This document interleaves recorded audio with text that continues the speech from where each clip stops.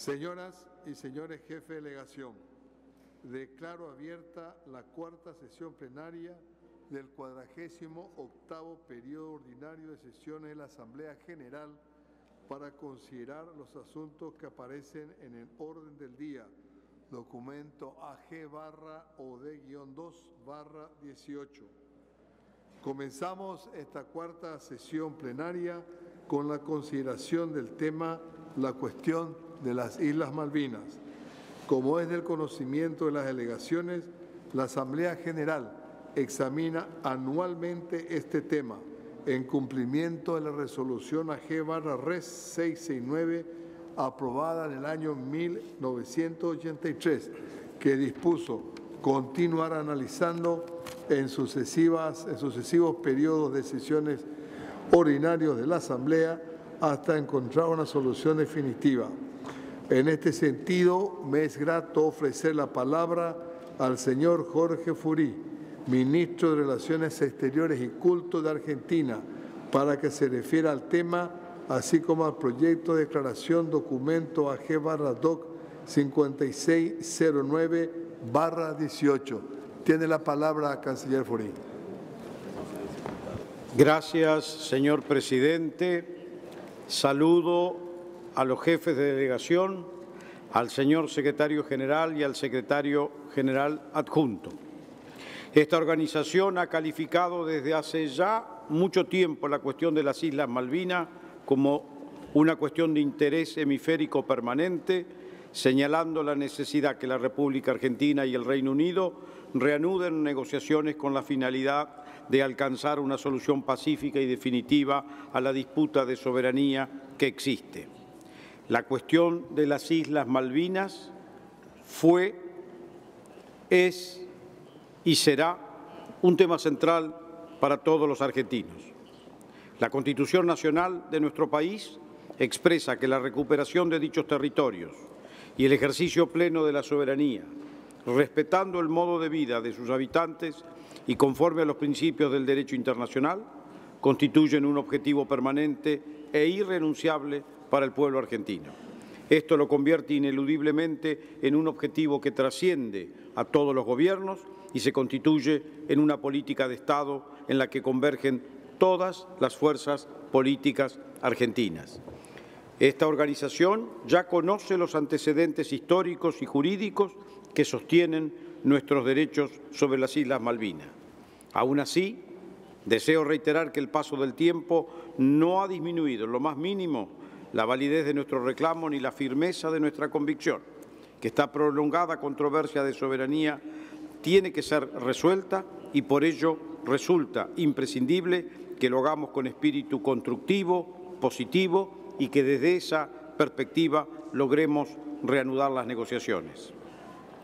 Señor presidente, entre los antecedentes en favor de esta posición de mi país, quiero mencionar que uno de los hitos fundamentales es la resolución 2065 adoptada en 1965 por la Asamblea General de las Naciones Unidas que reconoció la existencia de una situación colonial en las Islas Malvinas y tomó nota de la disputa de soberanía entre la República Argentina y el Reino Unido, recomendando solucionarla a través de negociaciones entre las partes.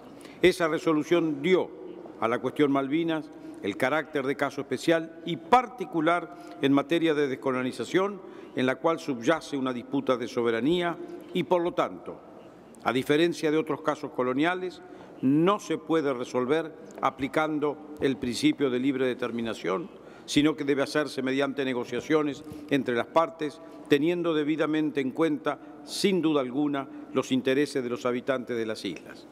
Argentina votó en su momento a favor de la resolución 1514 de la Asamblea General de Naciones Unidas y ha apoyado firme y reiteradamente el principio de libre determinación de los pueblos en todos los casos en que éste se aplica, pero siempre de conformidad con dicha resolución y los propósitos y principios de la Carta de Naciones Unidas. Ahora bien, el derecho a libre determinación como todo derecho, no es absoluto, ya que su respeto nunca puede ir en contra de la integridad territorial de los estados que existen. Todos los gobiernos democráticos argentinos han expresado reiteradamente su disposición a dialogar con el Reino Unido sobre todos los temas que hacen a la cuestión Malvina. Numerosas resoluciones de la Asamblea General de las Naciones Unidas, del Comité Especial de Descolonización y de otros foros regionales y subregionales apoyan y han apoyado nuestro pedido. En el contexto de esta reclamación de negociaciones sobre la soberanía, el presidente Mauricio Macri ha impulsado una nueva fase en la relación con el Reino Unido, que se ha traducido en la incorporación de iniciativas tales como eh, proyectos de cooperación científica y cultural, cooperación antártica, coordinaciones en los foros multilaterales, misiones comerciales y empresariales. Todas estas iniciativas no se venían registrando desde hacía años. En este contexto, merece para nosotros una muy especial mención la reciente identificación de los soldados argentinos enterrados en el cementerio de Darwin en las Islas Malvinas. Este proyecto de naturaleza estrictamente humanitaria, dedicado a reconocer y a identificar los restos de, quienes yacían allí como soldados solo conocidos por Dios, fue llevado a cabo con éxito gracias a la voluntad de los dos gobiernos, argentino y británico, y la colaboración del Comité Internacional de la Cruz Roja y del equipo de argentino de antropología forense.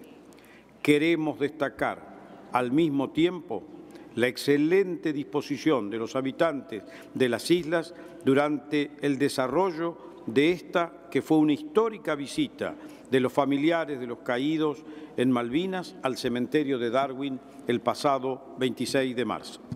Recientemente he tenido oportunidad de reunirme con el secretario de Asuntos Exteriores británicos en la ocasión que sirvió para que dialogáramos sobre las posibilidades de ampliar y fortalecer nuestros vínculos bilaterales en múltiples áreas de interés mutuo.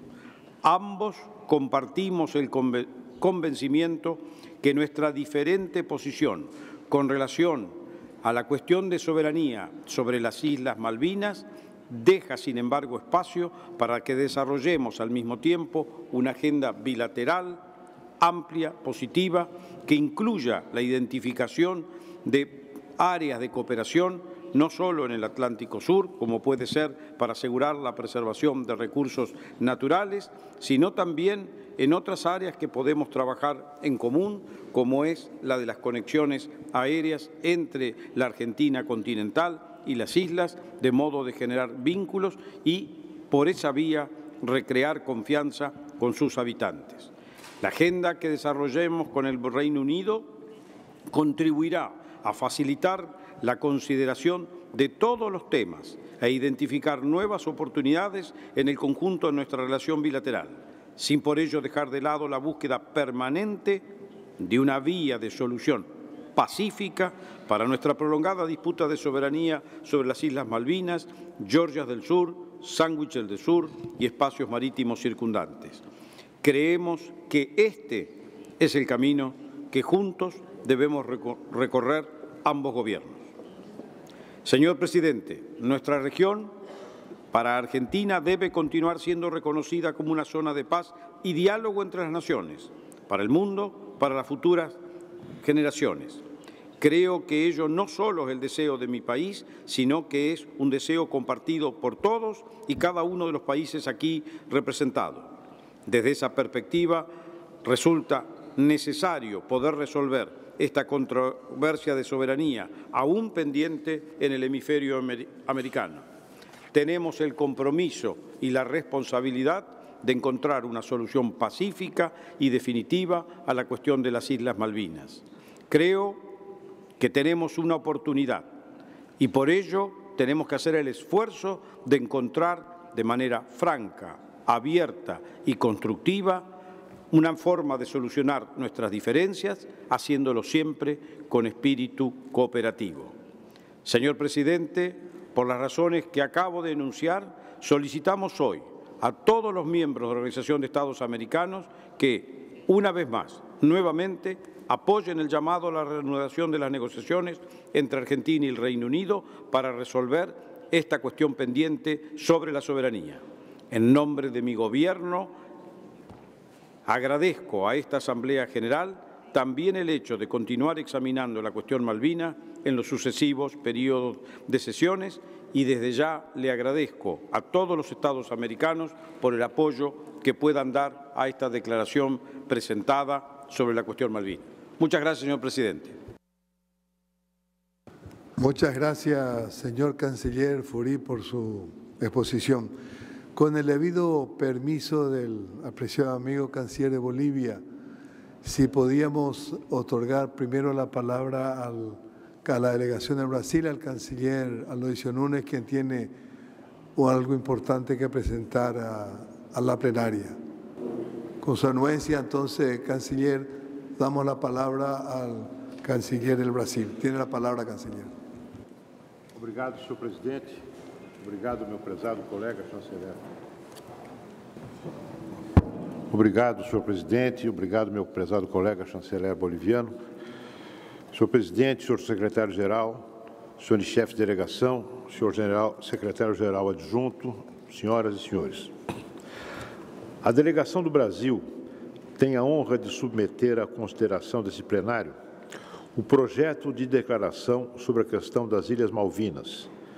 Em sua parte introdutória, a declaração recorda documentos aprovados em assembleias anteriores, como a Resolução 928 de 1988, que solicita aos governos da Argentina e do Reino Unido, da Grã-Bretanha e Irlanda do Norte que retomem as negociações com vistas a encontrar uma solução para o assunto, assim como a Resolução 1049 de 1990 pela qual a Assembleia Geral expressou sua satisfação pelo restabelecimento de relações diplomáticas entre os dois países. O Brasil mantém historicamente posição de reconhecimento inequívoco dos legítimos direitos de soberania da República Argentina sobre as Ilhas Malvinas. Em todos os fóruns multilaterais pertinentes, em especial nas Nações Unidas e nesta organização, o governo brasileiro presta apoio firme e explícito ao pleito da Argentina. Também no Mercosul, a posição argentina tem recebido amplo respaldo. Esperamos que os países aqui representados se somem ao apoio a uma reivindicação justa e legítima da Argentina, cujo reconhecimento contribuirá também para o fortalecimento das relações entre a Argentina e o Reino Unido, no interesse do nosso hemisfério e das relações entre a Europa e nossa região. Passarei à leitura do projeto em tela. Projeto de declaração sobre a questão das Ilhas Malvinas.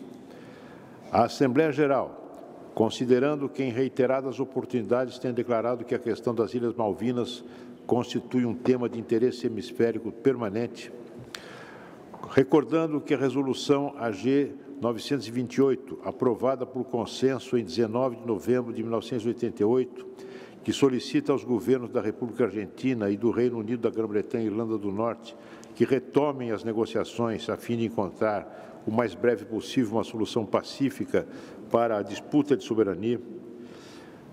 Levando em conta que na resolução da Assembleia Geral 1049 em 1990, manifestou sua satisfação pela retomada das relações diplomáticas em ambos os países, reconhecendo que, a incorporação do Reino Unido da Grã-Bretanha e Irlanda do Norte à Organização dos Estados Americanos, na qualidade de observador permanente, mediante a resolução do Conselho Permanente 665 de 95, reflete princípios e valores comuns a esse país e aos Estados membros da organização, o que permite um maior entendimento mútuo, constatando com satisfação que os governos da República Argentina e do Reino Unido, da Grã-Bretanha e Irlanda do Norte mantêm importantes vínculos comerciais, culturais e políticos, compartilham valores comuns e, além disso, desenvolvem uma estreita cooperação, tanto no plano bilateral como nos fóruns internacionais, levando em conta que, apesar de tais vínculos e valores comuns, ainda não foi possível retomar as negociações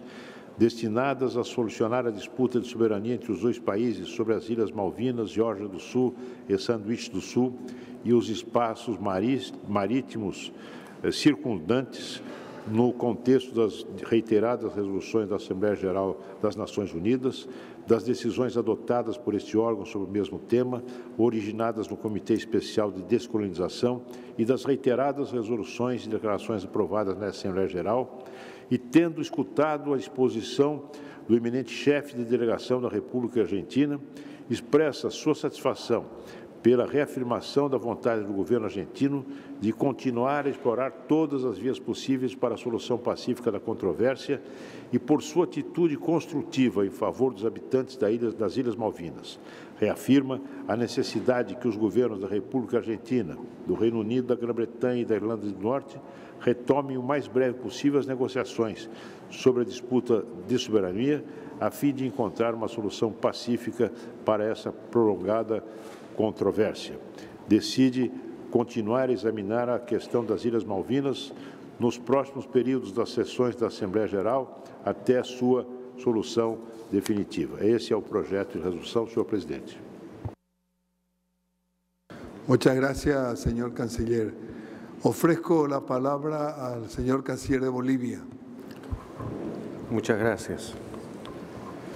Bolivia, como todos los años y de manera consecuente, reitera su apoyo a la hermana República Argentina para la recuperación de la soberanía de las Islas Malvinas. En este contexto, me referiré a la reunión celebrada por los ministros de Relaciones Exteriores del grupo de los, del grupo de los 77 más China, reunidos el 22 de septiembre del año 2017, en la sede de las Naciones Unidas en Nueva York, en ocasión de su 41 reunión anual. En tal oportunidad examinamos la situación económica mundial, los acontecimientos ocurridos recientemente en el mundo y los problemas especiales a los que se enfrentan los países en desarrollo, en las esferas económico, social y ambiental, y se aprobó la siguiente declaración en los puntos 196 y 197 en relación a las Islas Malvinas. Abro comillas. Los ministros recordaron que el 16 de diciembre del año 2015 se cumplió el 509 aniversario de la aprobación de la resolución 2065 de la Asamblea General, primera resolución que se refiere específicamente a la cuestión de las Islas Malvinas, reafirmaron la necesidad de que los gobiernos de la República Argentina y del Reino Unido, de Gran Bretaña e Irlanda del Norte celebren negociaciones de conformidad con los principios y objetivos de la Carta de las Naciones Unidas y las resoluciones pertinentes de la Asamblea General, a fin de encontrar a la mayor brevedad posible una solución pacífica a la disputa de soberanía relacionada con la cuestión de las Islas Malvinas y reconocieron la buena disposición y voluntad de la Argentina para celebrar negociaciones con este propósito.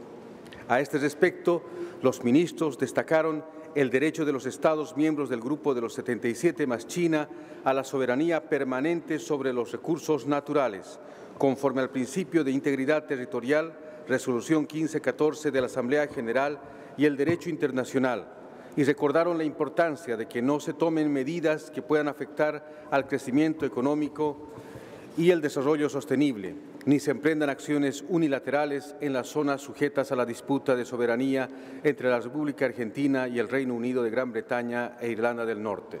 Cierro comillas.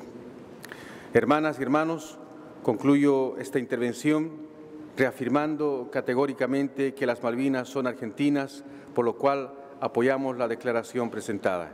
Gracias, presidente. Muchas gracias, señor canciller. Doy la palabra a la, a la, señora ministra de Guatemala. Tiene la palabra. Muy buenas tardes, señor presidente, señor secretario general. Mi delegación saluda y agradece la presentación del ministro de Relaciones Exteriores y Culto de la República de Argentina, señor Jorge Fori. Me complace participar personalmente en la consideración del tema de agenda, cuestión de las Malvinas, en la que en el marco de la Asamblea General de la OEA, ya que este es un tema de interés hemisférico y permanente. La presencia del canciller de la República Argentina demuestra una vez más el compromiso de esa nación con el multilateralismo y la evidencia de la alta prioridad y la decidida voluntad política que el ilustre gobierno argentino otorga la solución justa, pacífica y definitiva de la cuestión de las Islas Malvinas.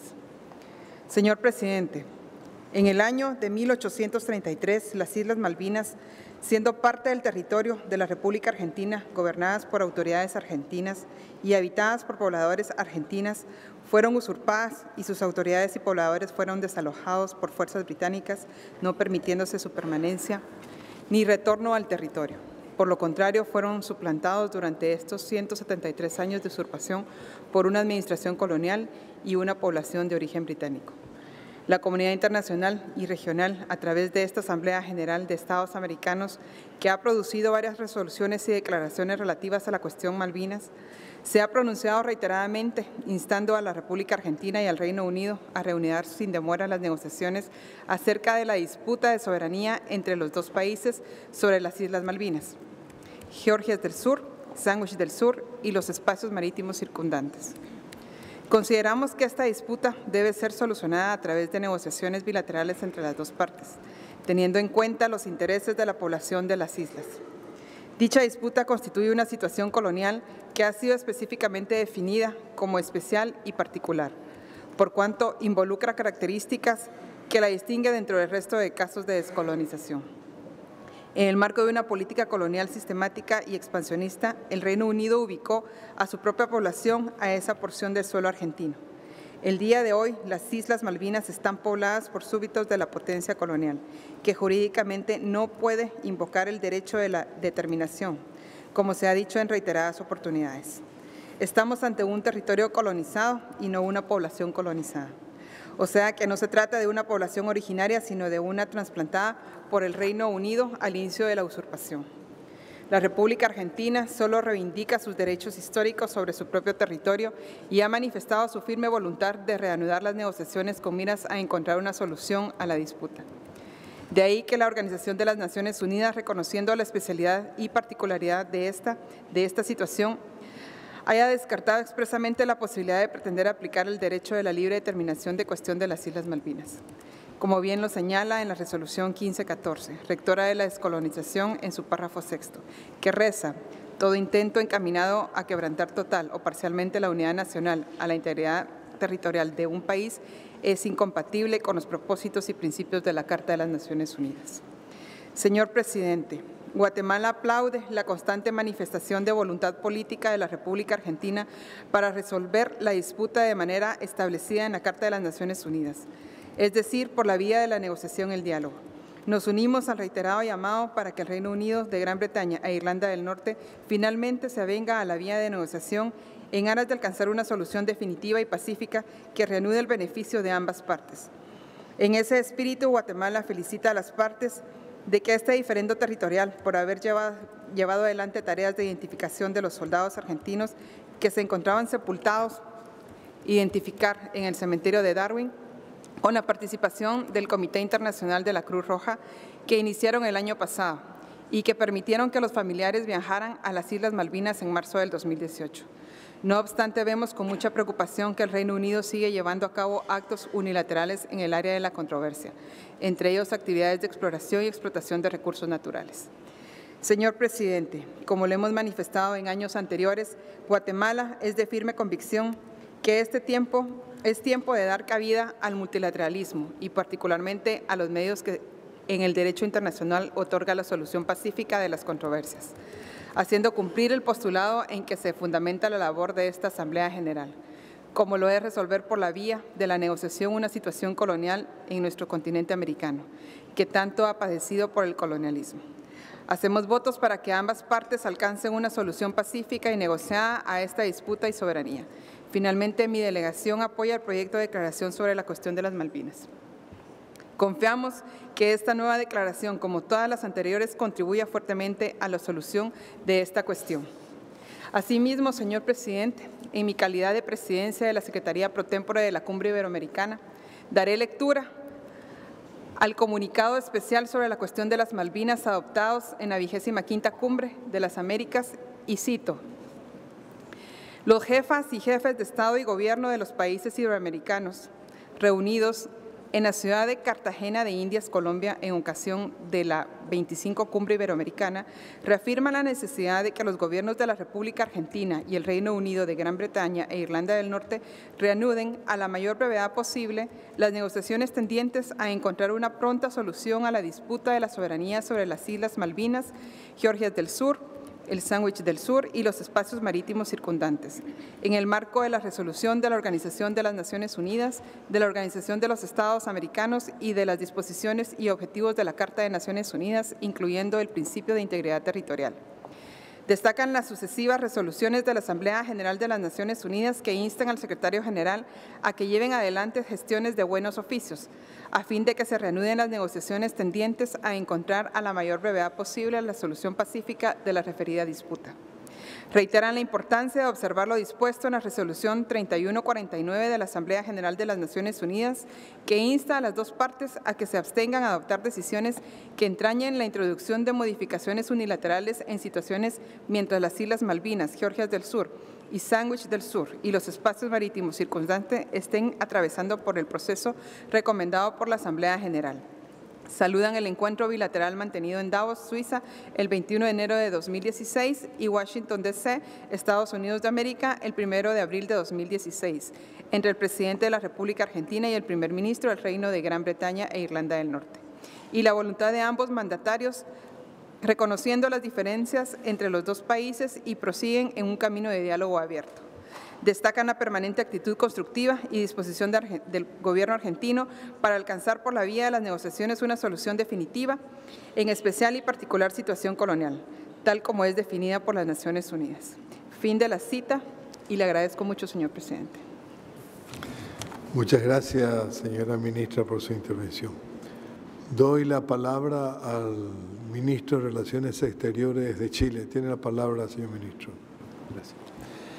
Señor presidente, el Gobierno de Chile reconoce los legítimos derechos de soberanía de la República Argentina sobre las Islas Malvinas, Georgia del Sur y Sandwich del Sur y los espacios marítimos circundantes, y ratifica la necesidad de que los gobiernos de la República Argentina y el Reino Unido de Gran Bretaña e Irlanda del Norte reanuden las negociaciones a fin de encontrar a la mayor brevedad posible una solución pacífica y definitiva a la disputa de soberanía conforme con las resoluciones pertinentes de las Naciones Unidas y las declaraciones de la Organización de los Estados Americanos. Muchas gracias.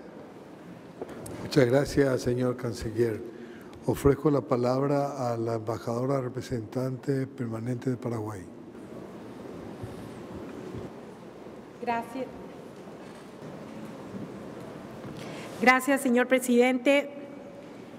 Las presidentas y los presidentes de los estados partes y estados asociados del Mercosur, reunidos en la ciudad de Mendoza, República Argentina, el 21 de julio de 2017, en ocasión de la quincuagésima cumbre de, cumbre de presidentes del Mercosur y estados asociados, reafirmaron los términos de la declaración de los presidentes de los estados partes del Mercosur de la República de Bolivia y de la República de Chile, firmada el 25 de junio de 1996 en Potrero de los Funes, República Argentina, denominada Declaración sobre las Malvinas, y reiteraron su respaldo a los legítimos derechos de la República Argentina en la disputa de soberanía relativa a la cuestión de las Islas Malvinas Recordaron el interés regional en la, prolongada disputa de soberanía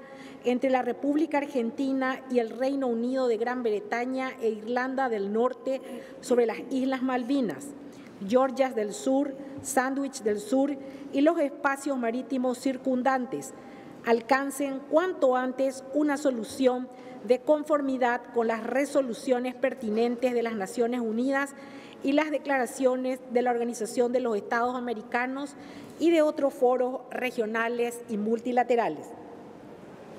Así también reiteraron su rechazo al desarrollo de actos unilaterales en el área bajo disputa, incompatibles con las resoluciones pertinentes de las Naciones Unidas, poniendo de relieve la vocación de diálogo y la permanente disposición del gobierno argentino al identificar áreas de trabajo conjunto con el gobierno del Reino Unido de Gran Bretaña e Irlanda del Norte a fin de generar un clima propicio para la reanudación de las negociaciones sobre el tema de soberanía. Muchas gracias, señor presidente. Muchas gracias, embajadora de Paraguay. Tiene la palabra el canciller de Perú. Gracias, señor presidente. La delegación del Perú ha escuchado con suma atención la exposición del canciller de la República Argentina en la que expresa con claridad los fundamentos jurídicos que asisten a su país con relación a la disputa de soberanía de las Islas Malvinas. La delegación del Perú formula sus votos para que se reanuden las negociaciones entre la República Argentina y el Reino Unido de Gran Bretaña e Irlanda del Norte a la mayor brevedad posible, con el fin que se encuentre una solución pacífica, constructiva y duradera a la controversia entre ambos países, de acuerdo con las resoluciones de las Naciones Unidas y de la Organización de los Estados Americanos. En ese sentido, el Perú ratifica la importancia que las dos partes se abstengan de adoptar decisiones que entrañen la introducción de modificaciones unilaterales en la situación mientras las islas estén atravesando por el proceso recomendado por la Asamblea General de las Naciones Unidas. En este marco, el Gobierno peruano reitera su invariable apoyo a los legítimos derechos de soberanía que le asisten a la hermana República Argentina sobre las Islas Malvinas, Georgias del Sur, Sandwich del Sur y los espacios marítimos circundantes, en virtud de lo cual, señor presidente, el Perú renueva su respaldo al proyecto de declaración puesto a la atenta consideración de esta Asamblea General. Gracias, señor presidente. Muchas gracias, canciller, por su intervención. Ofrezco la palabra al representante permanente de Nicaragua. Tiene la palabra. Gracias, canciller Eladio. Eh, primer término, la delegación de Nicaragua mm, quiere hacer llegar nuestra, eh, nuestras condolencias y solidaridad al presidente de Guatemala, don Jimmy Morales, y a todo el pueblo guatemalteco eh, por la tragedia que actualmente enfrentan. Señor presidente, el gobierno de la República de Nicaragua reitera su solidaridad al pueblo y gobierno de la República Argentina en su justa demanda por reivindicar sus derechos soberanos e históricos en la zona de las Islas Malvinas. Argentina es un país hermano con el cual nos unen cordiales lazos de amistad y cooperación en diferentes áreas. Nicaragua aboga por el fin de todo remanente colonial, cualquiera que sea su manifestación. Continuaremos apoyando al gobierno argentino en el Comité Especial de Descolonización de las Naciones Unidas. La promoción de la paz y la seguridad internacionales son imperativos mundiales y constituyen un principio, básico de la coexistencia pacífica entre los Estados, por lo que el recurso al arreglo político negociado a las controversias que se susciten entre los mismos contribuye a este propósito.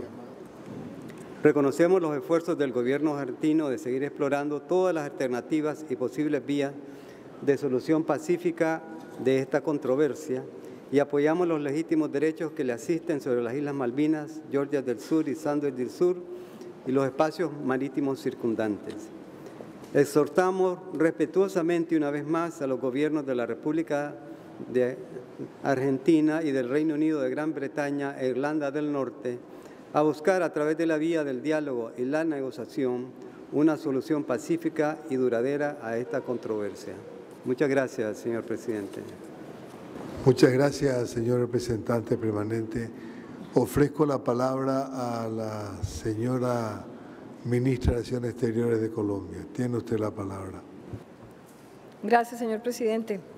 Colombia respalda los legítimos derechos de la República Argentina en la disputa de soberanía sobre las Islas Malvinas, Georgias del Sur e Islas Sandwich del Sur y los espacios marítimos circundantes y pide a las partes a reanudar las negociaciones a fin de encontrar a la mayor brevedad posible una solución pacífica, negociada y definitiva a la disputa conforme a los pronunciamientos en las Naciones Unidas y en la OEA.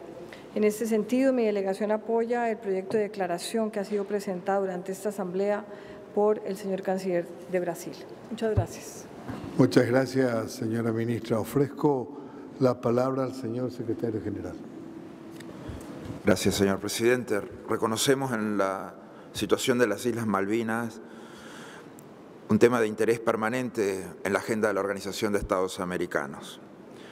Señalamos que es necesario se lleve adelante una negociación por esta disputa de soberanía.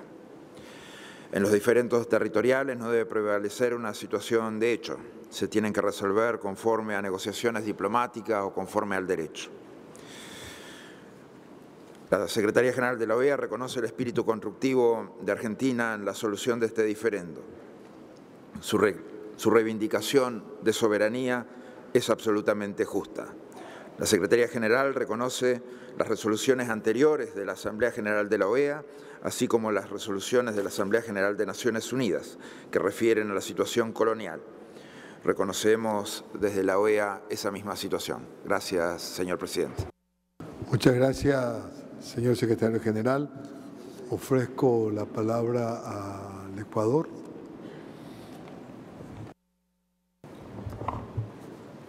Gracias, señor presidente.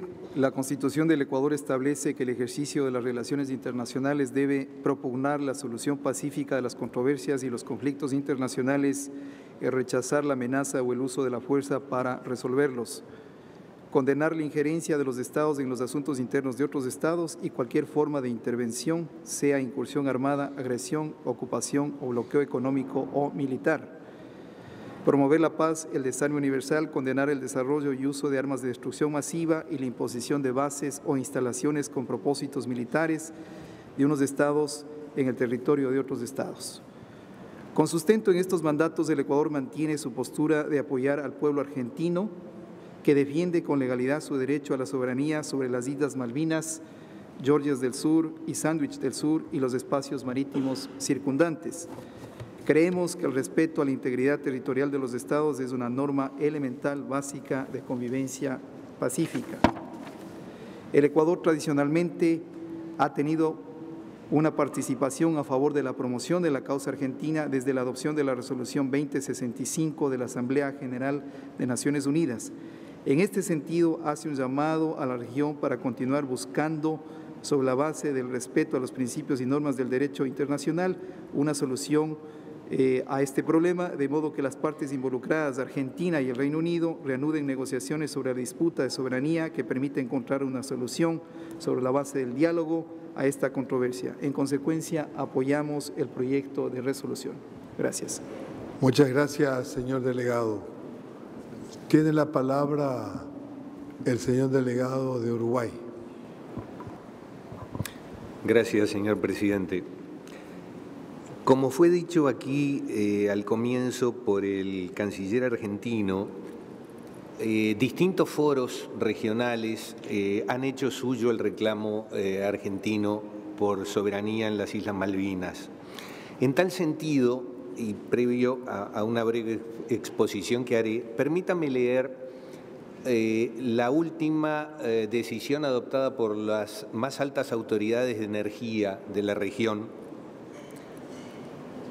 en Buenos Aires en diciembre pasado, voy a leer solamente la parte resolutiva, que dice, artículo primero, reiterar lo dispuesto por las jefas y jefes de Estado y de Gobierno de la Comunidad de Estados Latinoamericanos y Caribeños en cuanto a manifestar su más firme respaldo a los legítimos derechos de la República Argentina en la disputa de soberanía sobre las Islas Malvinas, Georgias del Sur y Sandwich del Sur y los espacios marítimos circundantes, y el permanente interés de los países de la región en que los gobiernos de la República Argentina y el Reino Unido de Gran Bretaña e Irlanda del Norte reanuden las negociaciones a fin de alcanzar una solución pacífica y definitiva a la disputa. Artículo segundo, recordar las decisiones ministeriales de OLADE adoptadas en Punta Cana 2013, San Salvador 2014, Tarija 2015 y Quito 2016 Artículo tercero. Recordar lo dispuesto en la cumbre de la Unidad de Riviera Maya México, por las jefas y los jefes de Estado y de Gobierno de América Latina y el Caribe respecto de la importancia de lo establecido en la Resolución 3149 de la Asamblea General de Naciones Unidas en relación con la exploración y explotación de hidrocarburos en la plataforma continental argentina e instar a las partes a que se abstengan de adoptar decisiones que entrañen la introducción de modificaciones unilaterales en la situación mientras las islas están atravesando el proceso recomendado en las resoluciones pertinentes de las Naciones Unidas. Artículo cuarto. Reconocer los derechos argentinos a defender, salvaguardar y utilizar de la manera que estime más conveniente los recursos naturales en materia de hidrocarburos en su plataforma continental, en los espacios referidos en el artículo primero, y adoptar las medidas que correspondieren con pleno respeto al derecho internacional. Señor presidente, el Uruguay, con respecto a la situación de las Islas Malvinas, Georgias del Sur y Sandwich del Sur y los espacios marítimos circundantes, ha mantenido una posición invariable y consistente de apoyo al reclamo de la República Argentina en cuanto a su legítimo derecho de soberanía sobre las mismas. La cuestión de las Islas Malvinas está directamente relacionada con la integridad territorial del Estado argentino que como lo demuestran innumerables estudios, posee títulos irrefutables heredados de España sobre las islas. Y así también como la ocupación legítima de la Argentina hasta el año 1833. Uruguay considera también que la cuestión de Malvinas es un caso de descolonización, tal como queda reconocido en las resoluciones internacionales adoptadas sobre el tema. De este modo, la clara ubicación de la cuestión de las Islas Malvinas como caso de descolonización, en el cual, a diferencia de otros, la población del territorio no autónomo involucrado no constituye un pueblo subyugado, sino un pueblo originario de la potencia colonial que lo administra, permite sustentar la no aplicación del principio de autodeterminación de los pueblos con el alcance con el que fue previsto para los pueblos originarios sometidos a la ocupación colonial. Por otra parte, nuestro país ha manifestado en reiteradas ocasiones su apoyo para la reanudación de las negociaciones entre el Gobierno de la República Argentina y el Gobierno del Reino Unido, a fin de encontrar a la mayor brevedad posible una solución pacífica, justa y definitiva a la controversia de soberanía sobre las Islas Malvinas, Georgias del Sur y Sandwich del Sur, y los espacios marítimos circundantes, de conformidad con las resoluciones y declaraciones pertinentes de Naciones Unidas y esta organización, y teniendo en cuenta las disposiciones y objetivos de la Carta de las Naciones Unidas. Gracias, señor presidente. Muchas gracias, señor delegado.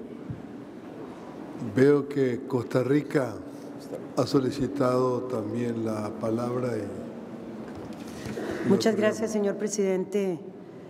Eh, en representación de mi país, quisiera respaldar la declaración eh, sobre las, de la cuestión sobre las Islas Malvinas eh, y, e instar, tal como lo expresa la, la declaración, nuestra voluntad para que el gobierno argentino pueda continuar las negociaciones eh, por todas las vías posibles para una solución pacífica de esta controversia. Y, reconociendo la soberanía que, ostenta eh, Argentina sobre las Malvinas, nos parece que se tienen que seguir examinando, tal como reza la declaración, todas las, las formas para llegar a un acuerdo sobre esta materia. Muchísimas gracias, presidente. Agradezco a la señora vicepresidenta y ministro de Relaciones Exteriores de Costa Rica por su intervención. No habiendo, aparece Uruguay, no sé si volvió a apretar o quiere hacer uso de palabra de vuelta. Tiene la palabra. Sí, gracias, señor presidente. Eh, simplemente para agregar a mi exposición que, eh, además de que Uruguay apoya decididamente este proyecto de resolución presentado, solicita que el mismo sea aprobado por aclamación de esta Asamblea. Gracias, señor presidente. Muchas gracias, señor delegado.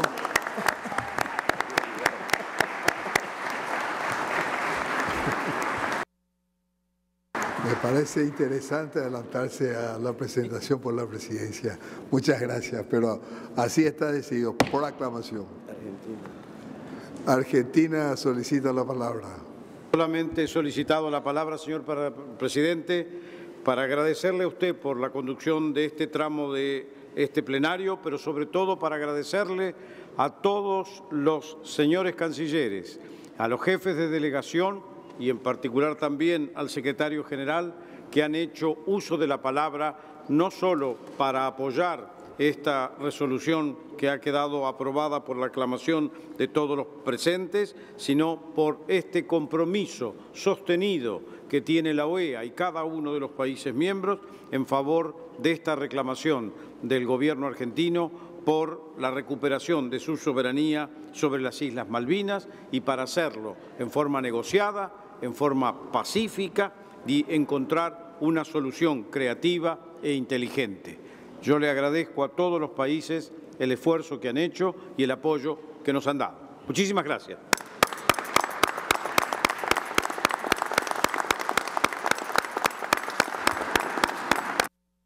Muchas gracias, señor canciller, y con su intervención damos por concluida esta, la consideración del tema Malvinas. Permítame recordar que según los acuerdos alcanzados por los Estados miembros en la Comisión Preparatoria, tenemos previsto que las presentaciones que siguen a continuación podrán extenderse por un máximo de cinco minutos.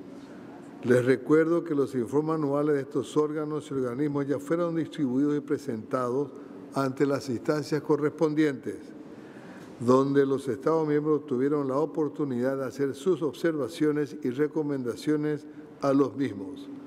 Por esta razón, le informan las distinguidas delegaciones que la presidencia le ofrecerá el uso de la palabra una vez concluidas todas las presentaciones. Repito, una vez concluidas todas las presentaciones que tenemos previstas en este segmento de la cuarta sesión plenaria.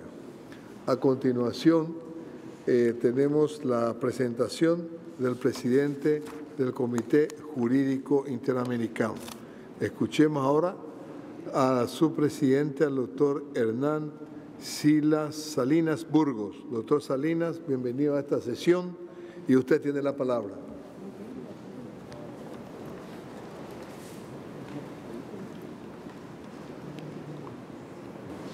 Señor presidente de la Asamblea General, señor secretario general de la organización, señores ministros de Relaciones Exteriores y jefes de delegación de los Estados miembros, señores observadores permanentes.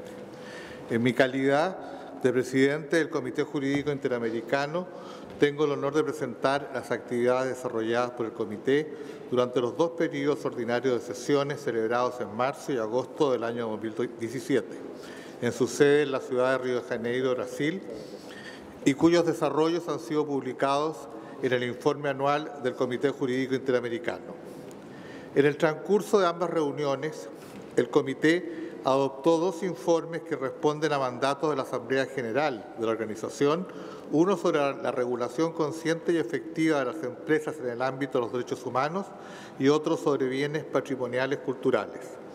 En materia de regulación consciente y efectiva de las empresas, el comité recopiló buenas prácticas, legislación y jurisprudencia en el tratamiento del tema, junto con proponer alternativas para avanzar en la, regulación de las empresas desde una perspectiva de los derechos humanos, incluyendo una propuesta de guía de principios sobre responsabilidad social de las empresas en el campo de los derechos humanos y el medio ambiente en las Américas, que fuera aprobado en el año 2014. En lo relativo a la protección de los bienes culturales patrimoniales, el informe del Comité analiza los instrumentos jurídicos regionales y universales, sugiere desarrollos mayores de legislación nacional e invita a los Estados miembros a dotarse de mecanismos de cooperación para facilitar la implementación de los instrumentos existentes, en particular la Convención de la UNESCO sobre las medidas que deben adoptarse para prohibir e impedir la importación, la exportación y la transferencia de propiedad ilícitas de bienes culturales de 1970 y la Convención sobre Defensa del Patrimonio Arqueológico, Histórico y Artístico de las Naciones Americanas de 1976, la Convención de San Salvador. Asimismo, se plantea la elaboración de una guía de usuario. En ambos casos, el comité queda atento al seguimiento adecuado que la Asamblea General desea acordarles. En este contexto, constatamos que se está proponiendo al máximo órgano de la organización reunido aquí en Washington, entre los cuales se invita a los estados a difundir el informe del comité en materia de la defensa pública efectiva y a identificar las áreas temáticas para actualizar o ampliar la ley modelo interamericana sobre acceso a la información pública. Todo ello nos gratifica y nos insta a continuar trabajando en el desarrollo jurídico de la región, teniendo en consideración el interés de los estados y de la organización. En el periodo comprendido por este informe, el comité inició además la consideración de dos nuevos temas. Eficacia de las decisiones judiciales extranjeras a la luz de la Convención Interamericana sobre eficacia extraterritorial de las sentencias y laudos arbitrales extranjeros y acuerdos vinculantes y no vinculantes. Este último surgió el intercambio sostenido con asesores jurídicos de los Ministerios de Relaciones Exteriores realizado en octubre del 2016. Por su parte, en la sesión de marzo del presente año, el Comité reincorporó los temas de acceso a la información pública y protección de datos personales a la luz de los nuevos desarrollos jurídicos a nivel regional y universal en esta materia. Finalmente, el plenario del Comité Jurídico Interamericano decidió mantener en su agenda el tratamiento de los siguientes temas. Inmunidad de las organizaciones internacionales, derecho aplicable en los contratos internacionales, democracia representativa y aplicación del principio de convencionalidad. Promoción del derecho internacional. El curso de Derecho Internacional entre el 31 de julio y el 18 de agosto del 2017, el Comité celebró la 44 edición del curso de Derecho Internacional, con el apoyo del Departamento de Derecho Internacional de la Secretaría de Asuntos Jurídicos en Río de Janeiro, Brasil. El curso contó con la participación de 42 alumnos, de los cuales 15 fueron becarios provenientes de diversos países del hemisferio financiados por la OEA. En los últimos años hemos establecido lazos de trabajo con organizaciones internacionales abocadas al desarrollo del derecho internacional, tanto a nivel universal como regional. En tal cometido, en agosto del 2017, hemos recibido un miembro de la Comisión de Derecho Internacional de las Naciones Unidas y de la Comisión de Derecho Internacional de la Unión Africana. También un miembro del Comité Jurídico participó en una reunión de trabajo de la Comisión de Naciones Unidas en Ginebra en julio y otro asistió a una conferencia a la Unión Africana en diciembre del mismo año. Quiero dejar constancia de nuestro reconocimiento al Gobierno de los Estados Unidos mexicanos por haber invitado al Comité a celebrar el 92 periodo ordinario de sesiones entre el 26 de febrero y el 2 de marzo pasado. Fructífera, fructífera sesión de trabajo en que pudimos avanzar en el tratamiento de los temas de la agenda. Este tipo de sesiones fuera de la sede contribuyen en el cometido del comité a favor de la promoción del derecho internacional y de los desarrollos de los trabajos del comité. Y en este contexto pudimos sostener encuentros con diversos especialistas en materia de derecho internacional público y privado, incluyendo funcionarios públicos del gobierno mexicano, miembros de la Comisión de Asesores Externos del Secretariado de, Relaciones Exteriores, jueces de la Suprema Corte de Justicia de la Nación y profesores del Instituto de Investigaciones Jurídicas de la Universidad Nacional Autónoma de México. Ello permite, reitero, acercar el trabajo y el conocimiento de las actividades del Comité a los Estados miembros en beneficio de los fines y objetivos de nuestra entidad. El próximo periodo ordinario del comité ha sido convocado para el 6 de agosto del 2018 en nuestra sede en Río de Janeiro, en que esperamos dar seguimiento al tratamiento de los temas de, la agenda y celebrar una reunión de trabajo conjunta con los consultores jurídicos de los Ministerios de Relaciones Exteriores, encargados de temas de derecho internacional en los Estados miembros. De hecho, al día de hoy han confirmado la, la presencia los consultores de los siguientes estados, Argentina, Bolivia, Brasil, Chile, Estados Unidos, Haití, México, Paraguay, Perú y Uruguay. Sería ideal poder contar con representantes del Caribe y de Centroamérica. Por ello, aprovecho la ocasión para invitar a aquellos estados que no han respondido a enviar un representante. Deseo dejar constancia de nuestro agradecimiento a los Estados miembros de la organización por el apoyo administrativo y presupuestario brindado al comité, lo cual nos permite sesionar dos veces al año como ha sido la tradición. Instamos a reforzar el presupuesto destinado al curso de Derecho Internacional. Esta actividad académica de promoción del derecho internacional por excelencia, que cumple 45 años de vida, ha visto pasar a destacados internacionalistas y diplomáticos, algunos de los cuales participan hoy a título de cancilleres o embajadores. Quiero dirigir un mensaje a los Estados miembros del Caribe, instándoles muy respetuosamente a presentar internacionalistas de sus países como candidatos al comité, a fin de poder contar con la voz de la región y alcanzar una representación geográfica equitativa. Los desarrollos jurídicos del comité, incluyendo sus informes y resoluciones, pueden ser consultados en la página web de la organización en la sección del Comité Jurídico Interamericano.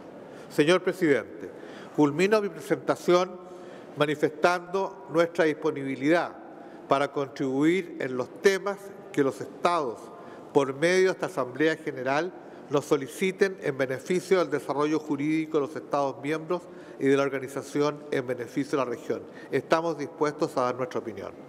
Finalmente, me parece pertinente reconocer los esfuerzos y la dedicación de los funcionarios del Departamento de Derecho Internacional de la Secretaría de Asuntos Jurídicos que actúa como Secretaría Técnica del Comité. Muchas gracias, señor presidente.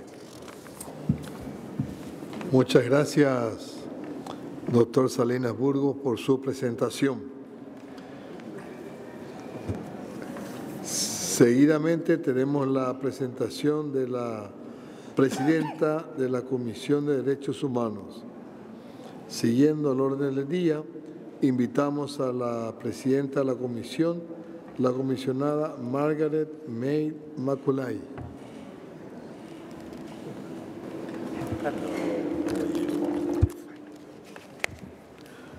Don't start counting yet.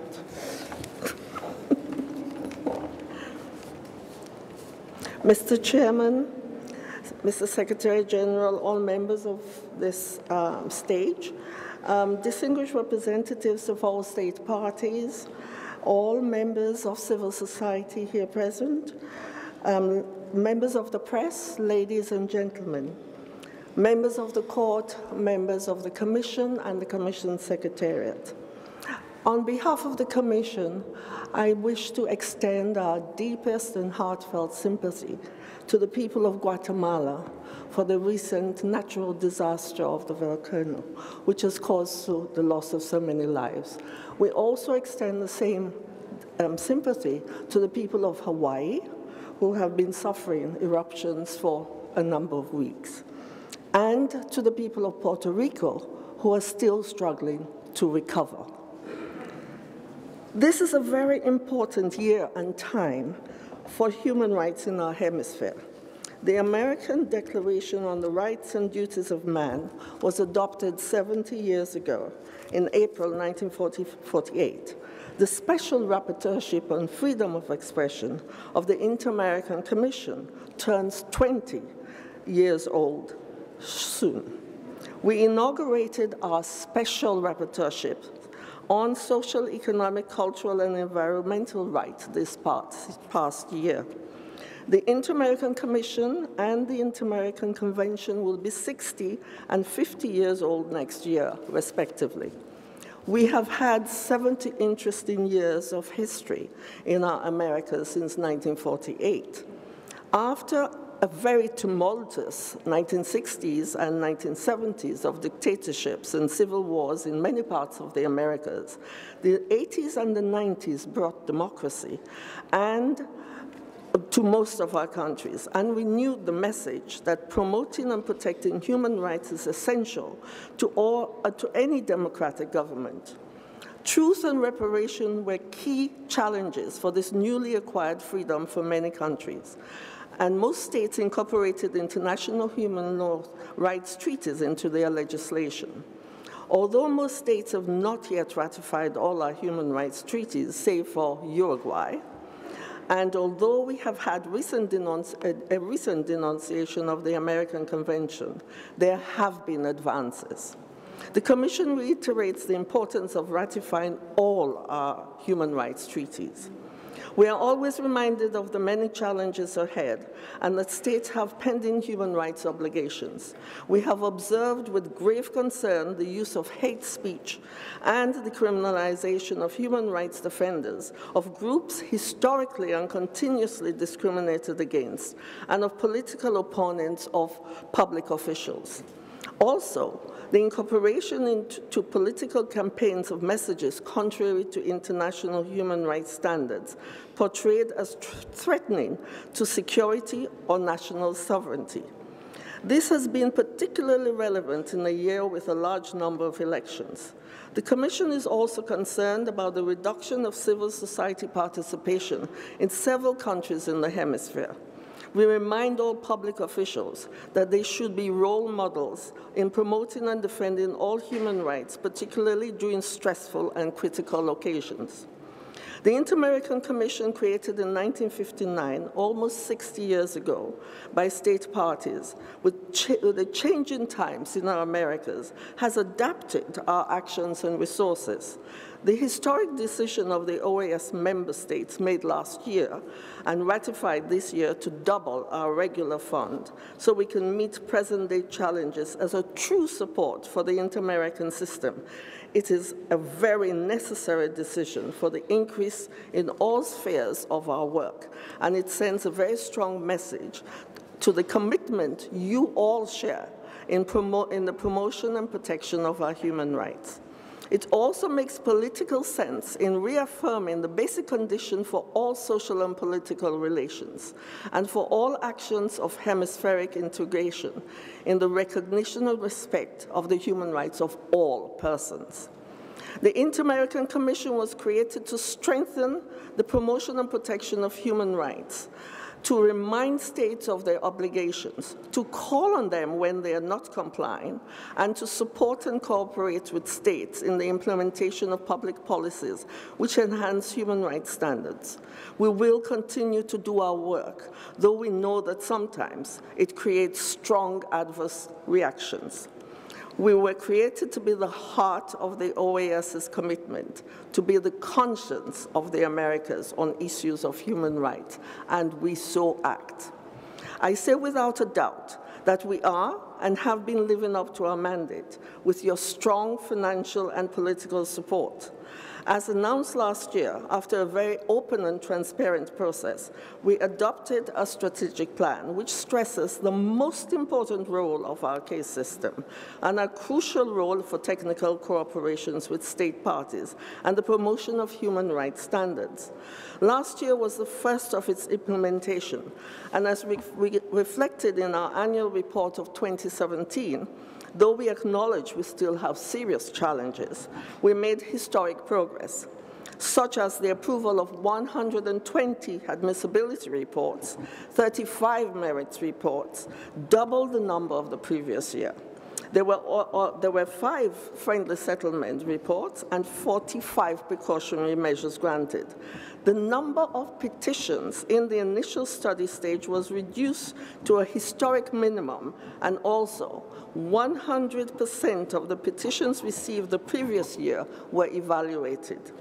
The Commission therefore achieved the objectives of the year for the reduction of our procedural delay. During the period of our said report, the Commission strengthened its capacity by creating a new and reinforced area for monitoring and technical cooperation and promotion by creating three new thematic uh, units. First, memory, truth, and justice. Second, rights for older persons. And third, rights for persons with disabilities. During the same period, we published nine country thematic reports and carried out six working visits to member states. We also strengthened our technical assistance mandate and the follow-up of recommendations with a view to promoting the effectiveness of the system. We expanded channel, channels and spaces for civil society participation, particularly with the establishment of the Joint Mechanism on Human Rights Defenders with the Office of the High Commissioner for Human Rights of the United Nations. Our rapporteurships also work more closely with the UN mandates.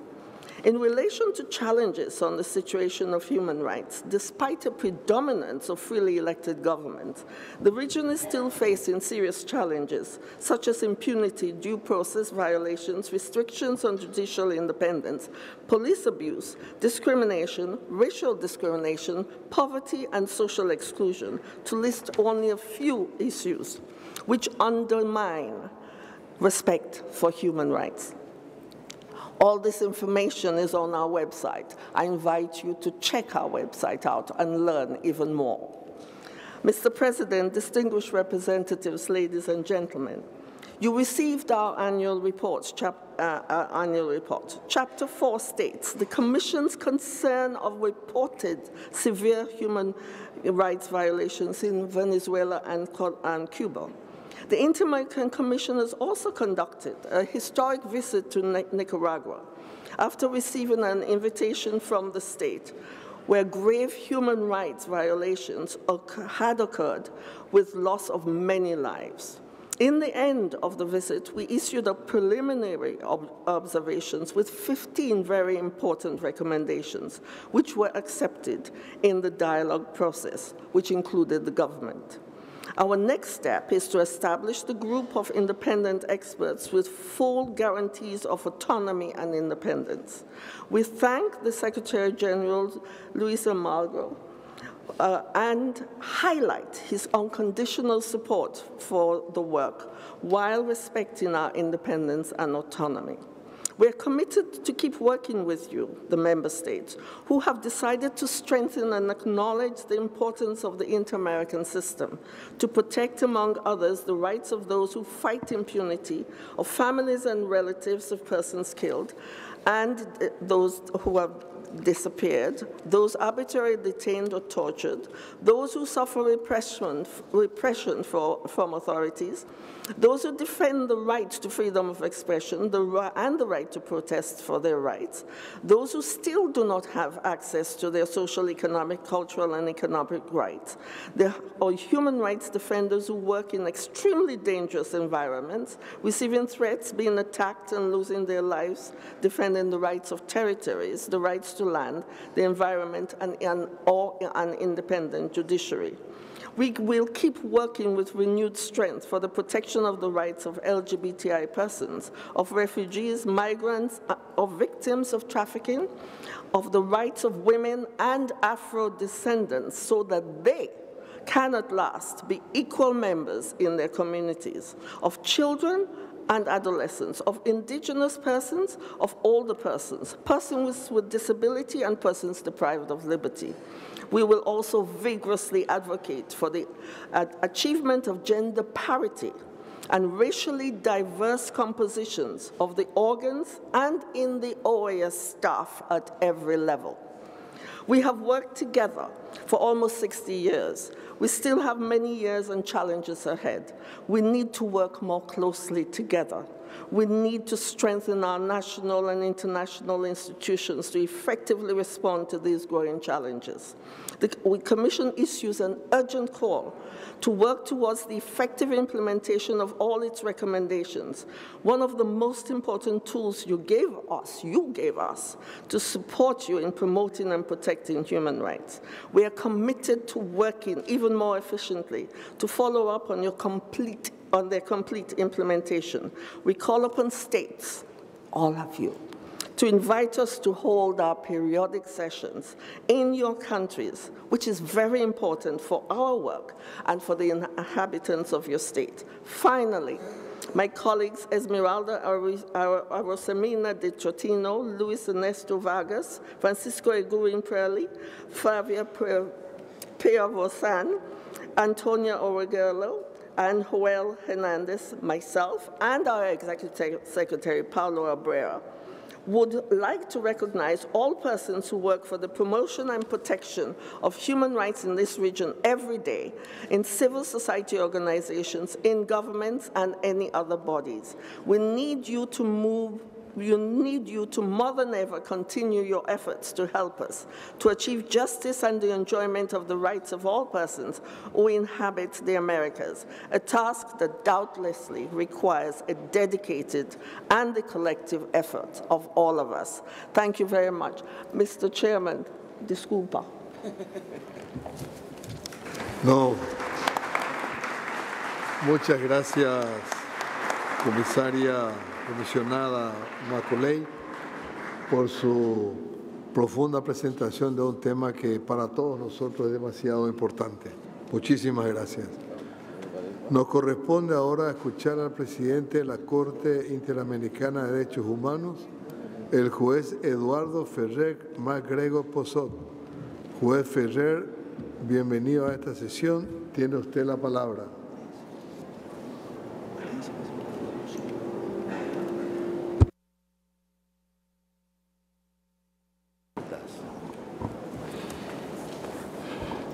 Muchas gracias, señor presidente de la Asamblea, secretario general de la OEA, jefes de delegación, representantes de los estados, observadores permanentes, organismos internacionales, organizaciones de la sociedad civil.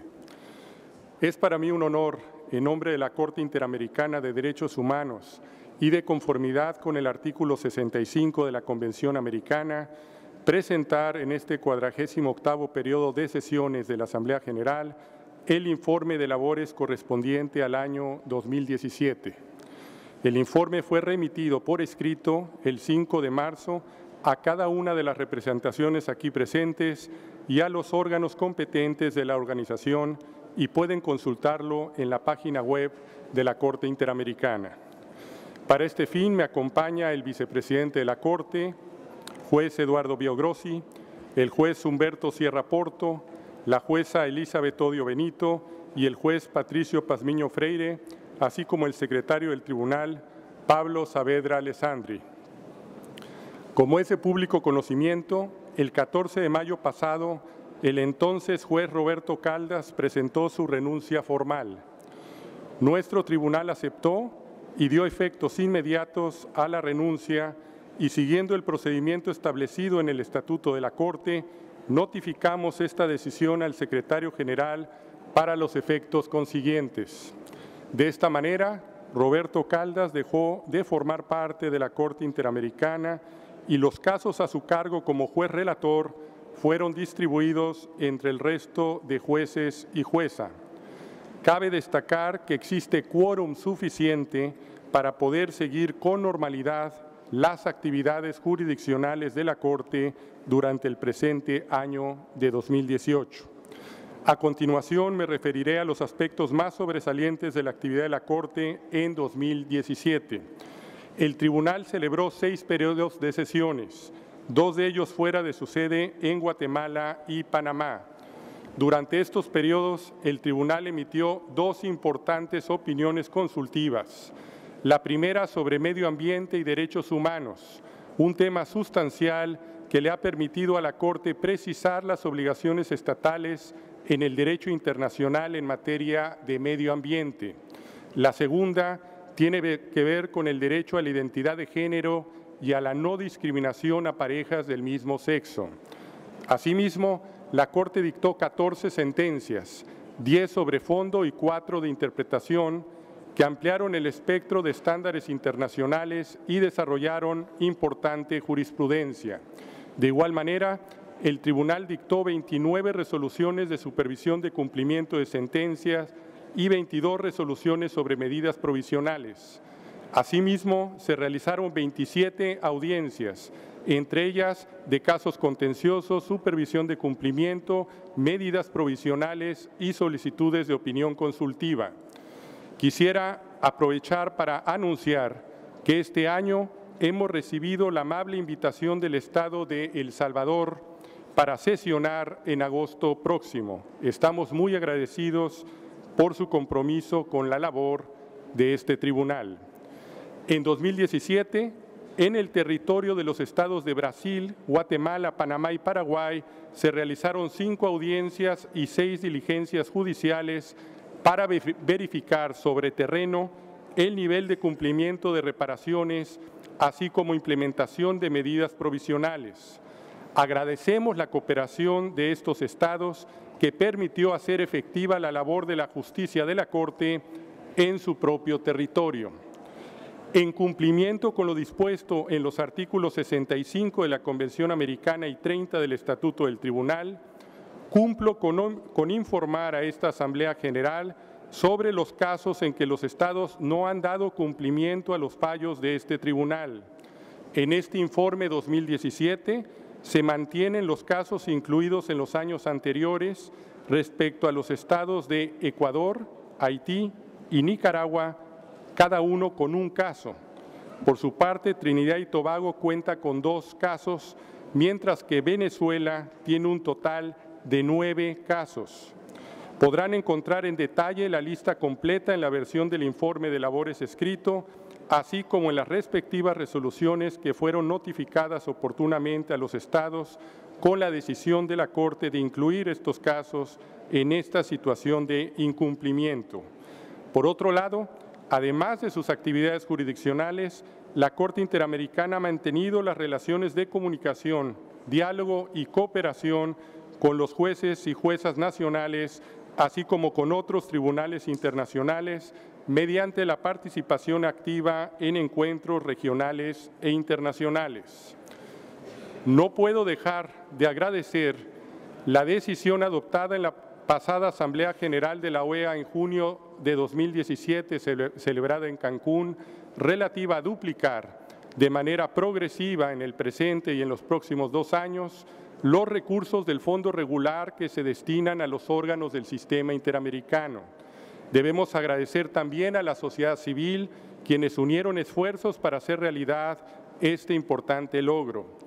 Gracias a los esfuerzos realizados en el 2017, y con el incremento presupuestal del 33% para este 2018, hemos logrado que a partir del presente año las reuniones colegiadas de los jueces y juezas lleguen a 14 semanas, financiadas por el fondo regular en comparación con las ocho semanas de años anteriores.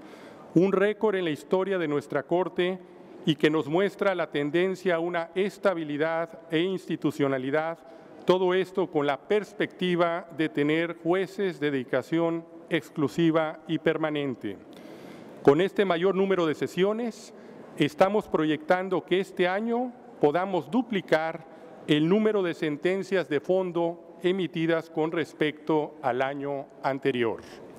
La Corte Interamericana agradece las contribuciones voluntarias realizadas en 2017 por los estados de Chile, Colombia, Costa Rica, México, Panamá y Perú. Es necesario reconocer también a los estados de fuera de la región por sus contribuciones y cooperación, Alemania, España, Noruega y Suiza.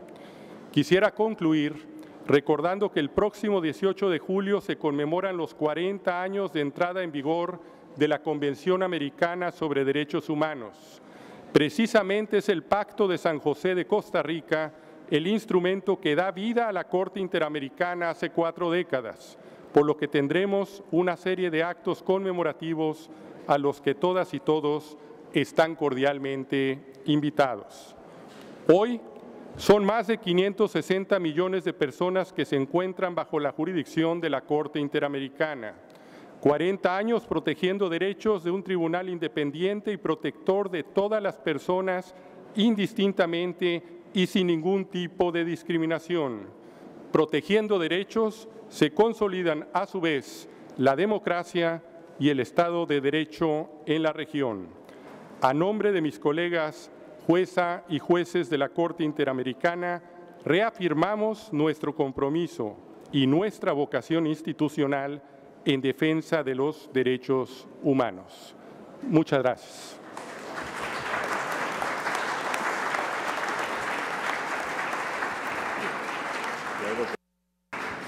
Juez Ferrer MacGregor, muchísimas gracias por su invaluable presentación valoramos el trabajo que hace la Corte. Muchísimas gracias. El siguiente punto de nuestro de orden del día se refiere a la presentación por parte de la presidenta de la Comisión Interamericana de Mujeres. Me complace ofrecer la palabra a la ministra Ana María Mendieta, presidenta de la CIM. Tiene usted la palabra.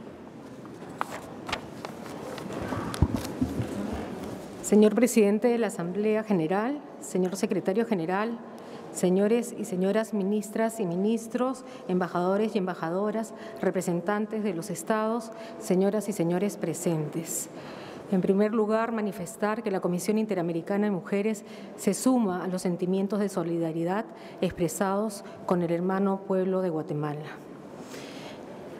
Luego señalar que es para mí un honor dirigirme a ustedes como presidenta de la Comisión Interamericana de Mujeres, órgano especializado de la OEA establecido en 1928 para defender los derechos de las mujeres y promover la igualdad de género en el hemisferio. Este año la Comisión Interamericana de Mujeres celebra 90 años de lucha para el reconocimiento y la protección de los derechos humanos de las mujeres, en cumplimiento de los mandatos otorgados por su Asamblea de Delegadas. La Asamblea General de la Organización de Estados Americanos, las Cumbres de las Américas y otras autoridades. Desde su creación en 1928, durante la sexta Conferencia Internacional Americana que tuvo lugar en La Habana, la Comisión Interamericana de Mujeres ha jugado un papel protagónico en la lucha por la igualdad de las mujeres de la región y se ha convertido en el foro hemisférico por excelencia para la reflexión y el debate sobre las políticas públicas de promoción de los derechos de las mujeres y la igualdad de género. Los 90 años de la Comisión Interamericana de Mujeres ofrecen una oportunidad de hacer un balance sobre los logros, identificar los desafíos que persisten para el pleno ejercicio de los derechos de las mujeres y afinar las prioridades que la Comisión Interamericana de Mujeres ha establecido como base de su trabajo para los próximos años. La labor de la Comisión se ha concretado en tres ejes fundamentales. El primero, la promoción de la adopción de acuerdos interamericanos para la garantía y la protección de los derechos de las mujeres. Dos, la proporción de asistencia técnica a los Estados miembros de la OEA para que estos acuerdos se traduzcan en políticas y programas públicos que hagan posible el real ejercicio de los derechos de las mujeres y la realización de la igualdad de género conforme con el Objetivo 5 de Desarrollo Sostenible. Y tercero, la institucionalización del enfoque de género e igualdad de género en el trabajo de la OEA. Para la Comisión Interamericana de Mujeres y para la región en general, los tiempos que vivimos de avances significativos también presentan dificultades, lo cual debe involucrar un apoyo decidido de parte de nuestros estados al trabajo de la Comisión para lograr la igualdad entre hombres y mujeres en nuestros países.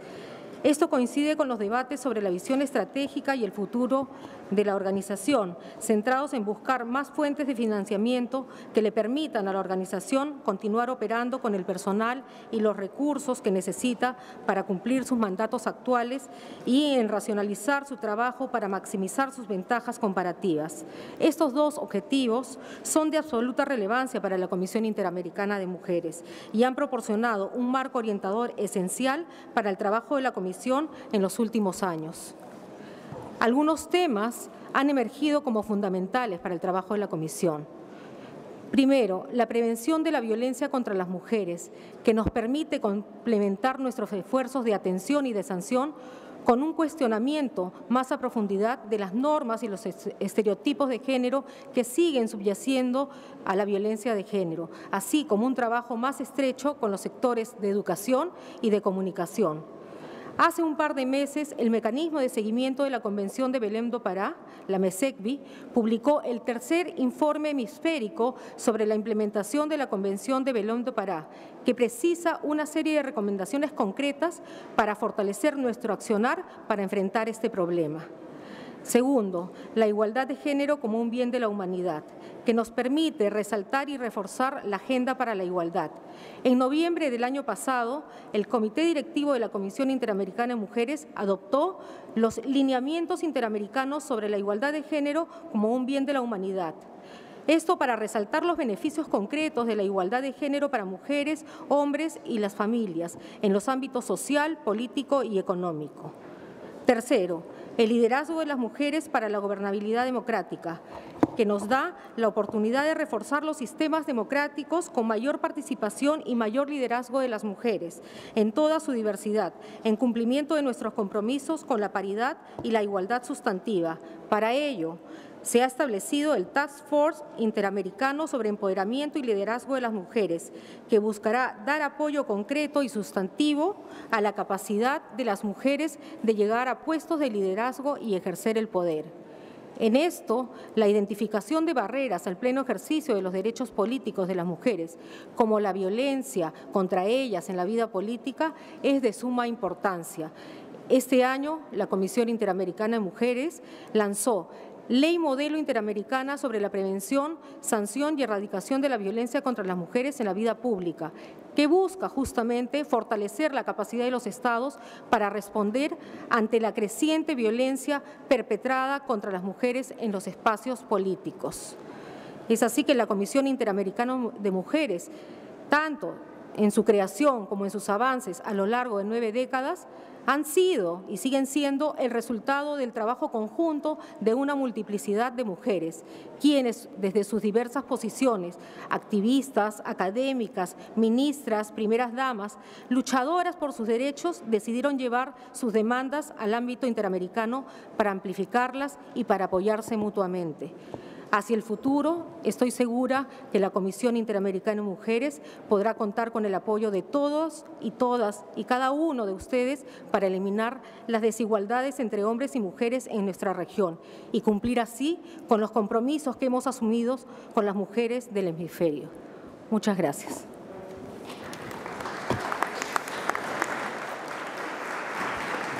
Muchas gracias a la ministra Ana María Mendieta Trefogli, presidenta de la CIM.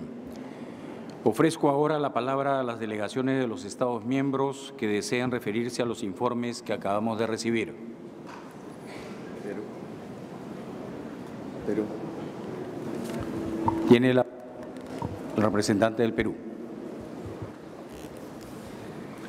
Gracias, señor presidente. Queríamos referirnos especialmente al último informe que acabamos de recibir de la presidenta de la Comisión Interamericana de Mujeres, para en primer lugar saludar la labor que está realizando la presidenta de la Comisión como una muestra del compromiso del Perú con la igualdad de género y el empoderamiento de las mujeres a nivel regional. Queremos en ese sentido resaltar especialmente la adopción de los lineamientos interamericanos por la igualdad de género como un bien de la humanidad, aprobados por el Comité Directivo de la Comisión durante sus sesiones del año pasado. Por ese instrumento, como es sabido, tiene como objetivo fortalecer el posicionamiento de la igualdad de género en la región. Queremos asimismo resaltar la realización del Foro Hemisférico Mujer y Participación Política en las Américas, llevado a cabo el 7 de septiembre del año pasado en Lima, junto con la segunda sesión ordinaria del Comité Directivo de la CIM, ocasión en la cual ocho de los nueve estados que, eh, que participan en dicho órgano participaron en la sesión. Muchas gracias, señor presidente. Muchas gracias, señor viceministro del Perú. Si no hay algún otro comentario,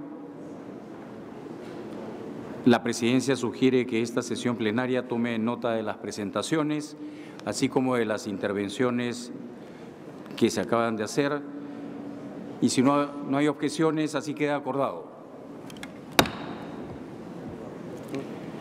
El siguiente punto en el orden del día se refiere a la elección de miembros de los siguientes órganos y organismos.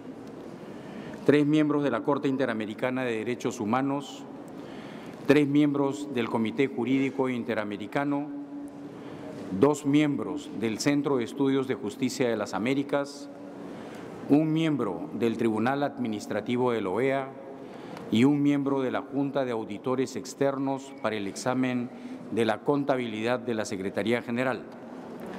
Me permito informar que de conformidad con las disposiciones de la resolución AG barra resolución 1757, ¿qué número tienes esta? Modificada por la resolución AG resolución 2157 35-0 barra 05 sobre las medidas destinadas a alentar el pago oportuno de las cuotas, la Secretaría ha distribuido el documento AG barra doc.5615 barra 18 que contiene la lista de países en situación regular, los considerados al día y aquellos que no estén al día. En este sentido, cabe recordar que la citada resolución establece en la sección B del anexo A que se deberán observar los siguientes procedimientos para las elecciones que realicen la Asamblea General o los consejos de la organización. A.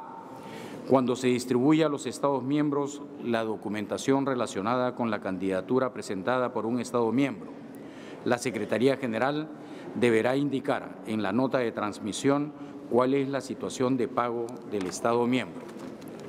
B dentro de la semana previa a la celebración de las elecciones y otra vez inmediatamente antes de la elección, la Secretaría General deberá distribuir una lista a todas las delegaciones en la que se indique la situación de los países respecto del pago de cuotas.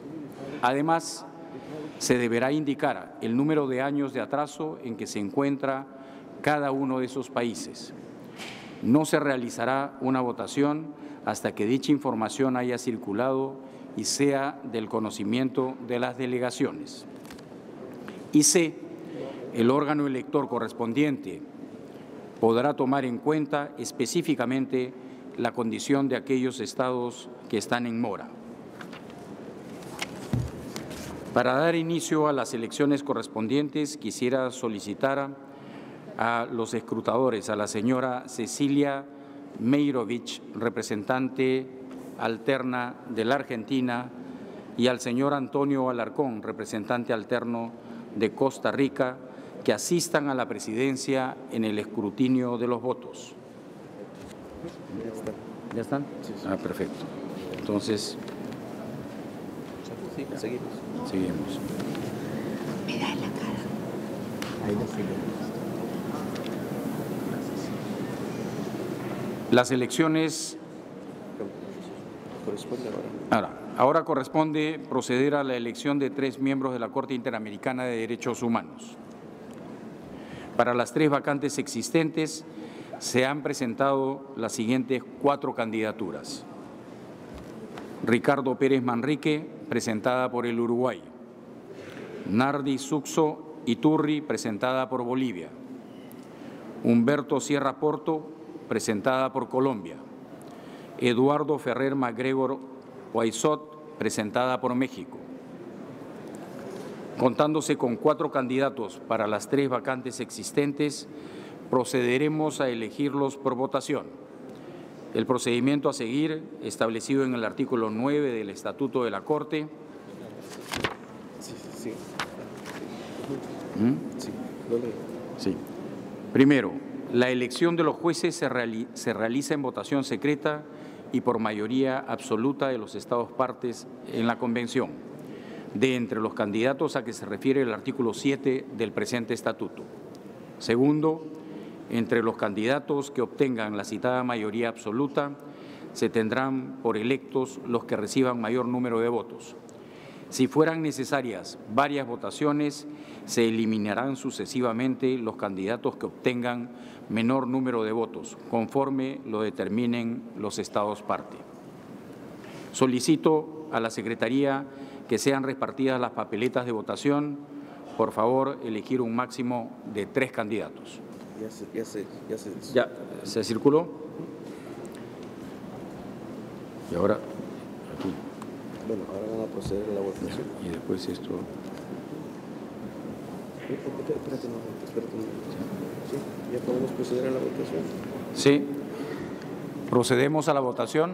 Sí, y vamos a recogerla. A ver. Que, que le enseñen caja, que no tiene nada dentro. Está bien.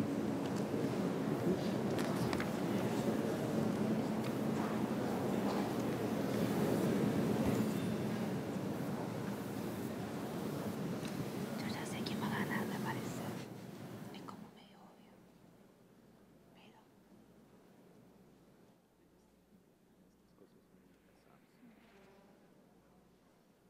Viste que los intercambios por eso no le dan intercambio a cualquiera.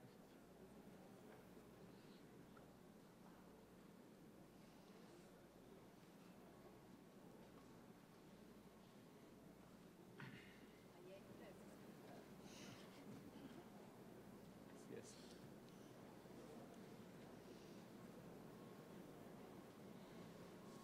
Entonces, ¿vos te regresás a Buenos Aires cuándo? 15 de agosto. Ah, bueno. de ahorita. Pero la veo hacia acá. Genial. Si no voy, me da la mitad de mi licencia. Pero quería también que mi hija empiece a las clases acá. Porque se va un problemático sacar Claro. fechas como justo.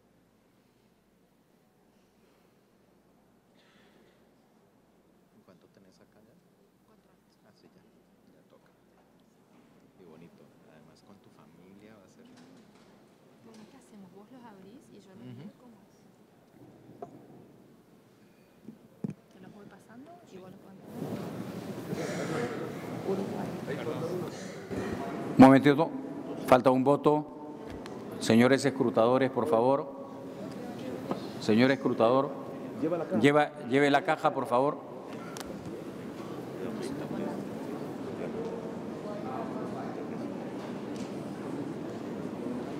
Dale, y me lo das, dale. Sí, dale. Yo los leo.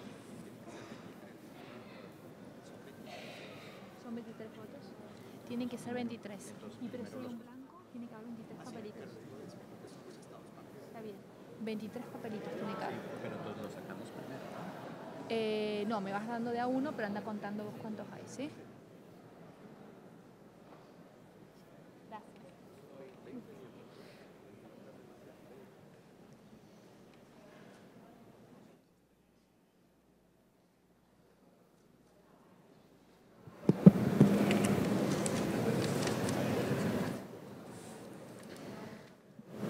Ricardo Pérez Manrique, de Uruguay. Humberto Sierra Porto, de Colombia. Eduardo Ferrer MacGregor Poisot, de México. Vuélvelo a repetir. Vuélvelo a repetir. Lo vuelvo a repetir. Ricardo Pérez Manrique, de Uruguay. Humberto Sierra Porto, de Colombia. Eduardo Ferrer MacGregor Poisot, de México.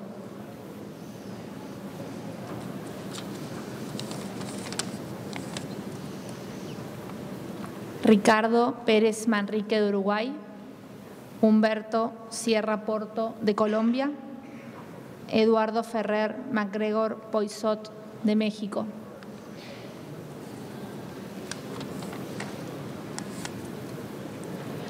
Ricardo Pérez Manrique de Uruguay, Humberto Sierra Porto de Colombia, Eduardo Ferrer MacGregor Poisot de México.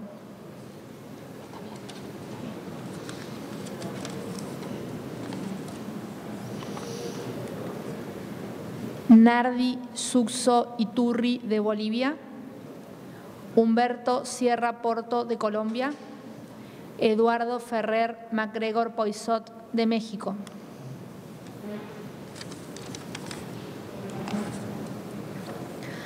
Ricardo Pérez Manrique de Uruguay, Humberto Sierra Porto de Colombia, Eduardo Ferrer MacGregor Poisot de México.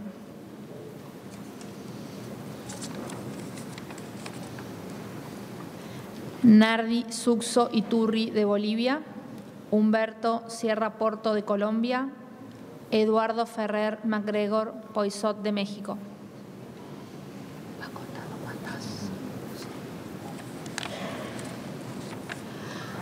Ricardo Pérez Manrique de Uruguay, Humberto Sierra Porto de Colombia, Eduardo Ferrer MacGregor Poisot de México.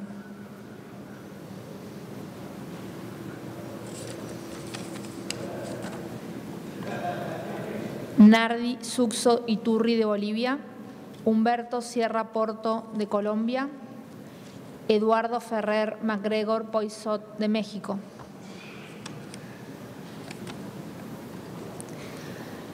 Ricardo Pérez Manrique de Uruguay, Humberto Sierra Porto de Colombia, Eduardo Ferrer MacGregor Poisot de México.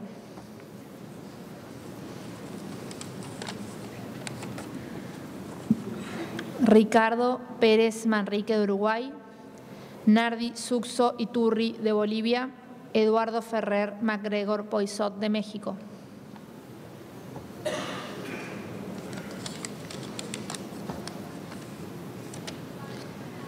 Ricardo Pérez Manrique de Uruguay, Humberto Sierra Porto de Colombia, Eduardo Ferrer MacGregor Poisot de México.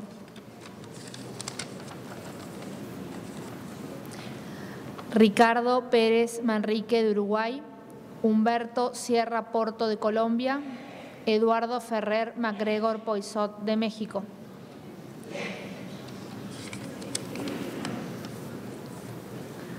Ricardo Pérez Manrique de Uruguay, Humberto Sierra Porto de Colombia, Eduardo Ferrer MacGregor Poisot de México.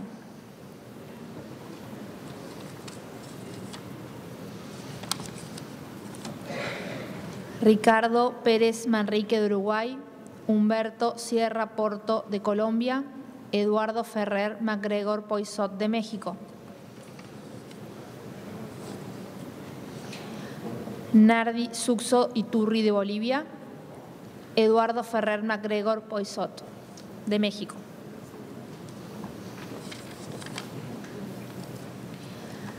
Ricardo Pérez Manrique de Uruguay, Humberto Sierra Porto de Colombia, Eduardo Ferrer MacGregor Poisot de México.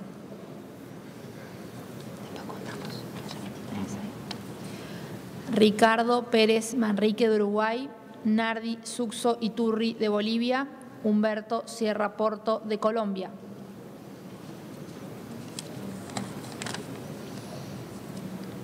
Ricardo Pérez Manrique de Uruguay, Humberto Sierra Porto de Colombia, Eduardo Ferrer MacGregor Poisot de México.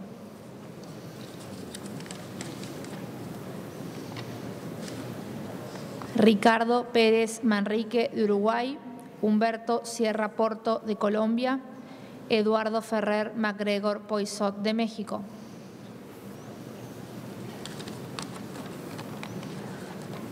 Ricardo Pérez Manrique de Uruguay, Humberto Sierra Porto de Colombia, Eduardo Ferrer MacGregor Poisot de México.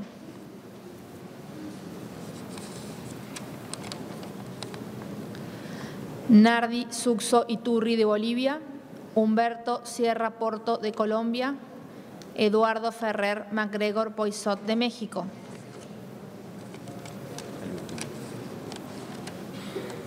Nardi Suxo Iturri de Bolivia, Humberto Sierra Porto de Colombia, Eduardo Ferrer MacGregor Poisot de México. Vamos a contabilizar que haya 23 votos, que son los 23 estados partes.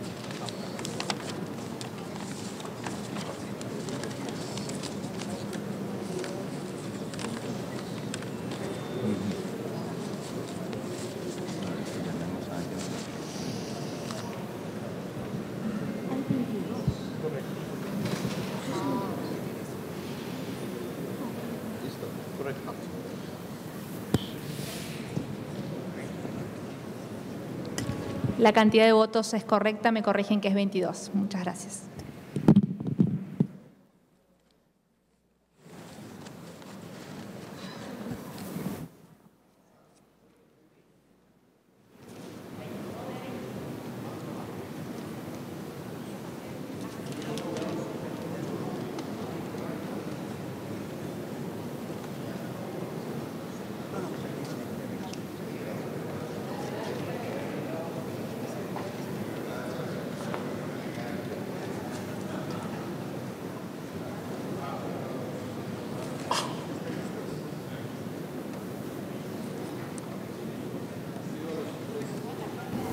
Pido a los señores escrutadores emitir los resultados de la votación.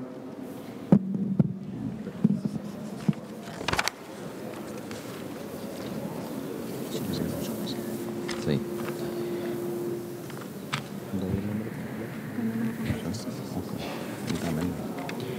Ricardo Pérez Manrique, 16 votos. Uruguay. Humberto Sierra Porto, Colombia, 19 votos. Eduardo Ferrer MacGregor, México, 21 votos. Nardi Suxo, Bolivia, 7 votos.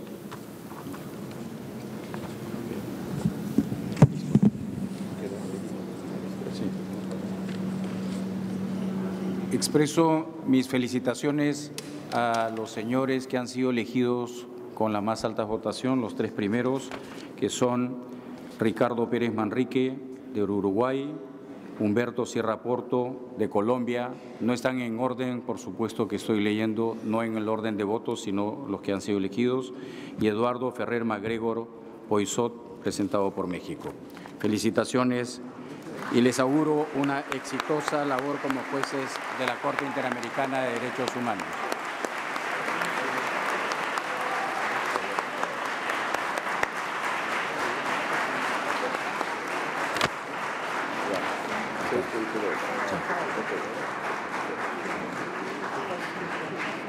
Corresponde ahora proceder a la elección de tres miembros del Comité Jurídico Interamericano. Para las tres vacantes existentes se han presentado las siguientes cuatro candidaturas. George Rodrigo Bandeira Galindo, presentada por Brasil, Ruth Estela Correa Palacio, presentada por Colombia, Mariana Salazar Albornoz, presentada por México, Ana Elizabeth Villalta Vizcarra, presentada por El Salvador. Contándose con cuatro candidatos para las tres vacantes existentes, procederemos a elegirlos por votación. El procedimiento a seguir es el siguiente. Las delegaciones marcarán en la lista de candidatos los nombres de las personas por quienes votan. No se, podrá votar por más de tres candidatos. Las cédulas de votación serán depositadas en la urna que se hará circular por la Secretaría. Los escrutadores declararán nulas las cédulas de votación que aparezcan firmadas, las que no permitan determinar claramente cuál ha sido la voluntad del votante y aquellas en las que se hayan señalado más de tres candidatos. De acuerdo con el artículo 73 del reglamento de la Asamblea General, se declararán elegidos los candidatos que obtengan el mayor número de votos siempre que esté que éste sea al menos el de la mayoría absoluta de los Estados miembros. Solicito a la Secretaría que sean repartidas las papeletas de votación. Por favor, elegir un máximo de tres candidatos. Están repartiendo. Sí.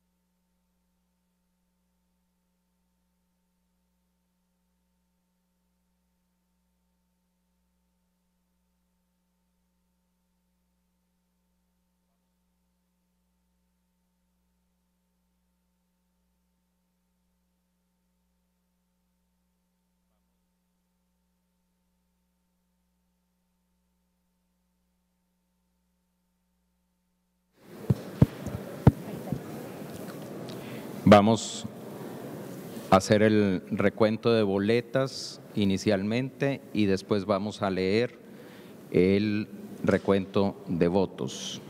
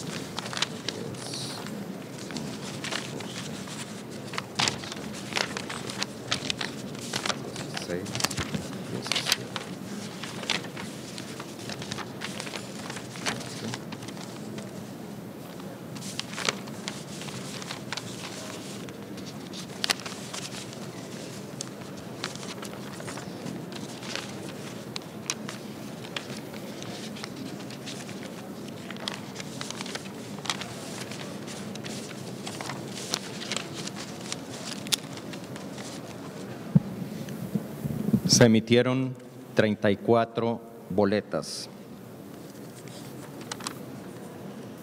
George Rodrigo Bandeira de Brasil. Ruth Estela Correa Palacio de Colombia. Mariana Salazar Albornoz de México. George Bandeira Gallardo de Brasil. Ruth Estela Correa Palacio de Colombia, Ana Elizabeth Villalta Vizcarra del Salvador. Ruth Estela Correa Palacio de Colombia, Mariana Salazar Albornoz de México, Ana Elizabeth Villalta Vizcarra del Salvador. Ana Elizabeth Villalta Vizcarra de El Salvador. George Rodrigo Bandeira de Brasil, Ruth Estela Correa Palacio de Colombia, Ana Elizabeth Villalta Vizcarra de El Salvador. George Rodrigo Bandeira Galindo de Brasil, Ruth Estela Correa Palacio de Colombia, Mariana Salazar Albornoz de México. George Rodrigo Bandeira Galindo de Brasil, Ruth Estela Correa Palacio de Colombia, Mariana Salazar Albornoz de México. Ruth Estela Correa Palacio de Colombia, Mariana Salazar Albornoz de México, Ana Elizabeth Villalta Vizcarra de El Salvador. George Rodrigo Bandeira Galindo de Brasil, Mariana Salazar Albornoz de México, Ana Elizabeth Villalta Vizcarra de El Salvador. George Rodrigo Bandeira Galindo de Brasil, Mariana Salazar Albornoz de México, Ana Elizabeth Villalta Vizcarra de El Salvador. George Rodrigo Bandeira Galindo de Brasil, Ruta Estela Correa Palacio de Colombia, Mariana Salazar Albornoz de México. George Rodrigo Bandeira Galindo de Brasil, Mariana Salazar Albornoz de México, Ana Elizabeth Villalta Vizcarra de El Salvador. George Rodrigo Bandeira Galindo de Brasil, Mariana Salazar Albornoz de México, Ana Elizabeth Villalta Vizcarra de El Salvador. El último, la última boleta. Ah, perdón, disculpen. George Rodrigo Bandeira Galindo de Brasil, Ruta Estela Correa Palacio de Colombia, Mariana Salazar Albornoz de México. Gracias. George Rodrigo Bandeira Galindo de Brasil, Ruta Estela Correa Palacio de Colombia, Ana Elizabeth Villalta Vizcarra de El Salvador. George Rodrigo Bandeira Galindo de Brasil, Ruta Estela Correa Palacio de Colombia, Mariana Salazar Albornoz, perdón, repito, esta boleta está para George Rodrigo Bandeira Galindo de Brasil, Ruth Estela Correa Palacio de Colombia y Ana Elizabeth Villalta Vizcarra de El Salvador. Ana Elizabeth Villalta Vizcarra del Salvador. George Rodrigo Bandeira Galindo de Brasil, Ruth Estela Correa Palacio de Colombia y Ana Elizabeth Villalta Vizcarra de El Salvador. George Rodrigo Bandeira Galindo de Brasil, Ruth Estela Correa Palacio de Colombia, Mariana Salazar Albornoz de México. George Rodrigo Bandeira Galindo de Brasil, Mariana Salazar Albornoz de México y Ana Elizabeth Villalta Vizcarra del Salvador. Ruta Estela Correa Palacio de Colombia, Mariana Salazar Albornoz de México, Ana Elizabeth Villalta Vizcarra del Salvador. George Rodrigo Bandeira Galindo de Brasil, Ruta Estela Correa Palacio de Colombia, Mariana Salazar Albornoz de México. George Rodrigo Bandeira Galindo de Brasil, Ruta Estela Correa Palacio de Colombia, Ana Elizabeth Villalta Vizcarra del Salvador. George Rodrigo Bandeira Galindo de Brasil, Ruta Estela Correa Palacio de Colombia, Mariana Salazar Albornoz de México. George Rodrigo Bandeira Galindo de Brasil, Ruta Estela Correa Palacio de Colombia, Mariana Salazar Albornoz de México. George Rodrigo Bandeira Galindo de Brasil, Ruta Estela Correa Palacio de Colombia, Mariana Salazar Albornoz de México.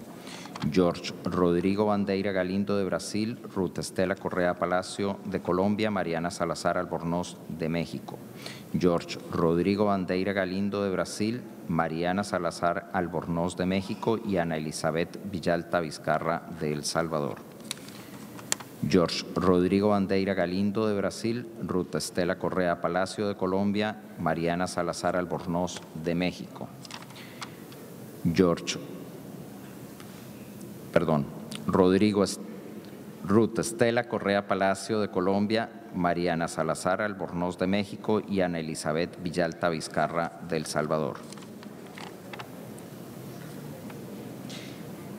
George Rodrigo Bandeira Galindo, Ruth Estela Correa Palacio de Colombia y Mariana Salazar Albornoz de México. George Rodrigo Bandeira Galindo de Brasil, Ruth Estela Correa Palacio de Colombia y Mariana Salazar Albornoz de México. Ruth Estela Correa Palacio de Colombia, Mariana Salazar Albornoz de México, Ana Elizabeth Villalta Vizcarra de El Salvador. Ahora sí, la última boleta, George Rodrigo Bandeira Galindo de Brasil, Ruta Estela Correa Palacio de Colombia, Mariana Salazar Albornoz de México.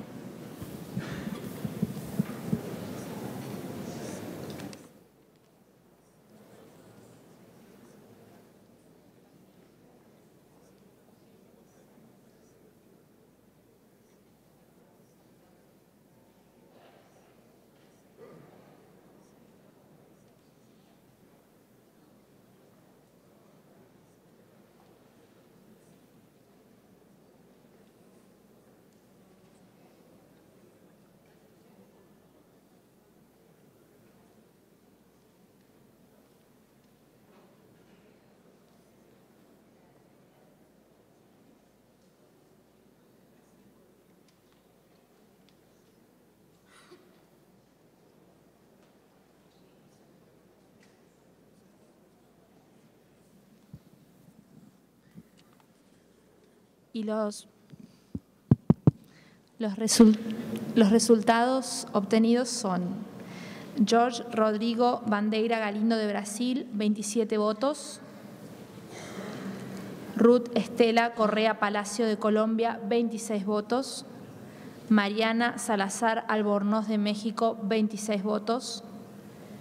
Ana Elizabeth Villalta Vizcarra del Salvador, 19 votos.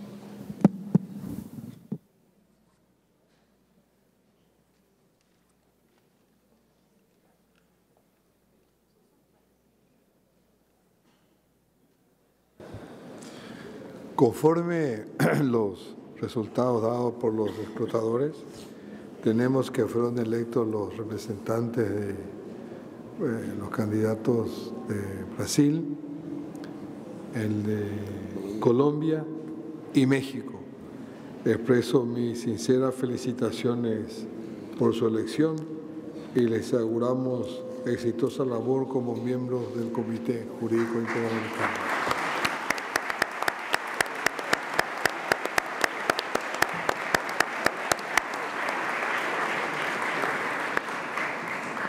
Continuación tenemos la elección de dos miembros del Centro de Estudios de Justicia de las Américas. Para las dos vacantes existe- existentes se han presentado las siguientes candidaturas. Jenny Wheeler Murphy, presentada por Estados Unidos. Patricia Pérez Goldberg, presentada por Chile.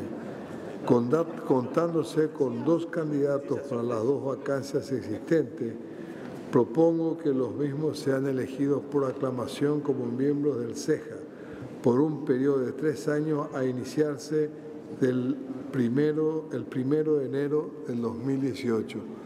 Está a consideración la propuesta de la presidencia.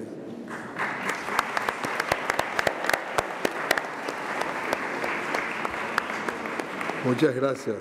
Expresamos nuestras felicitaciones por la elección a la señora Jenny Wheeler Murphy de Estados Unidos y a la señora Patricia Pérez Goldberg de Chile y le deseamos una exitosa labor como miembros del CEJA.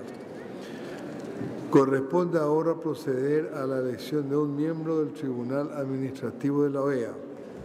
Debido a que para la vacante existente no se han presentado candidaturas, esta presidencia sugiere a la plenaria trasladar la tarea de elegir a un miembro del Tribunal Administrativo de la OEA al Consejo Permanente de nuestra organización.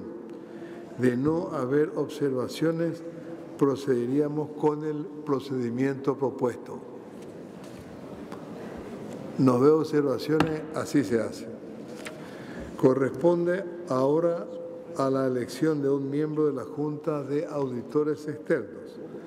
Debido a que para la vacante existente tampoco se presentaron candidaturas, esta presidencia sugiere a la plenaria trasladar la tarea de elegir a un miembro de la Junta de Auditores Externos al Consejo Permanente de la organización. De no haber observación, seguiríamos con este procedimiento. Así se hará. Habiendo culminado la elección de las autoridades de los órganos, organismos y entidades de la organización, agradezco a los escrutadores por el apoyo que nos han brindado. Muchísimas gracias.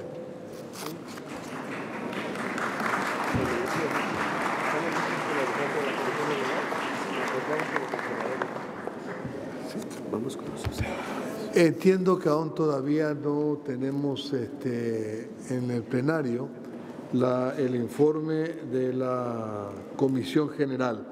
Por tanto, eh, iríamos a, la- a otorgar la palabra a los observadores permanentes que así lo desean referirse y por el espacio que está acordado. ¿eh? Si tienen la palabra, por favor, pueden levantar la mano. Reino Unido.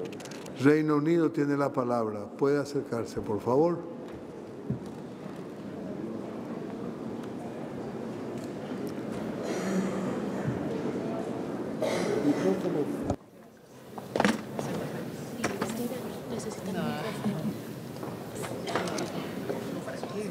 El embajador, no, el embajador de... Un segundo, embajador, van a, a instalar ahí la silla, por favor. You for the micro right now? Yeah.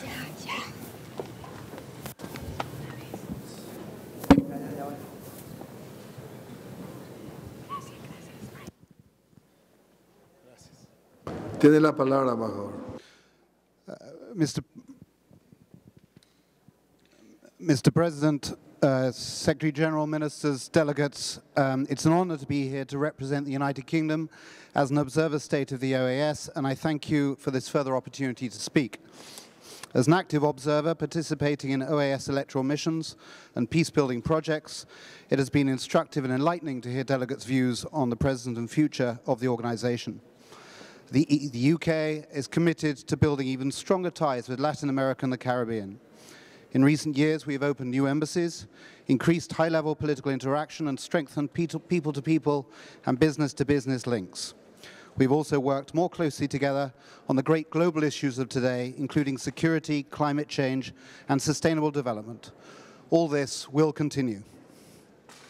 It is in that context of strengthening bilateral and multilateral ties that I turn specifically to the Declaration on the Falkland Islands and the statement delivered by the Foreign Minister of Argentina. Delegations will already be well aware of the UK position, but on behalf of my government and the Falkland Islanders, I am grateful for the opportunity to respond.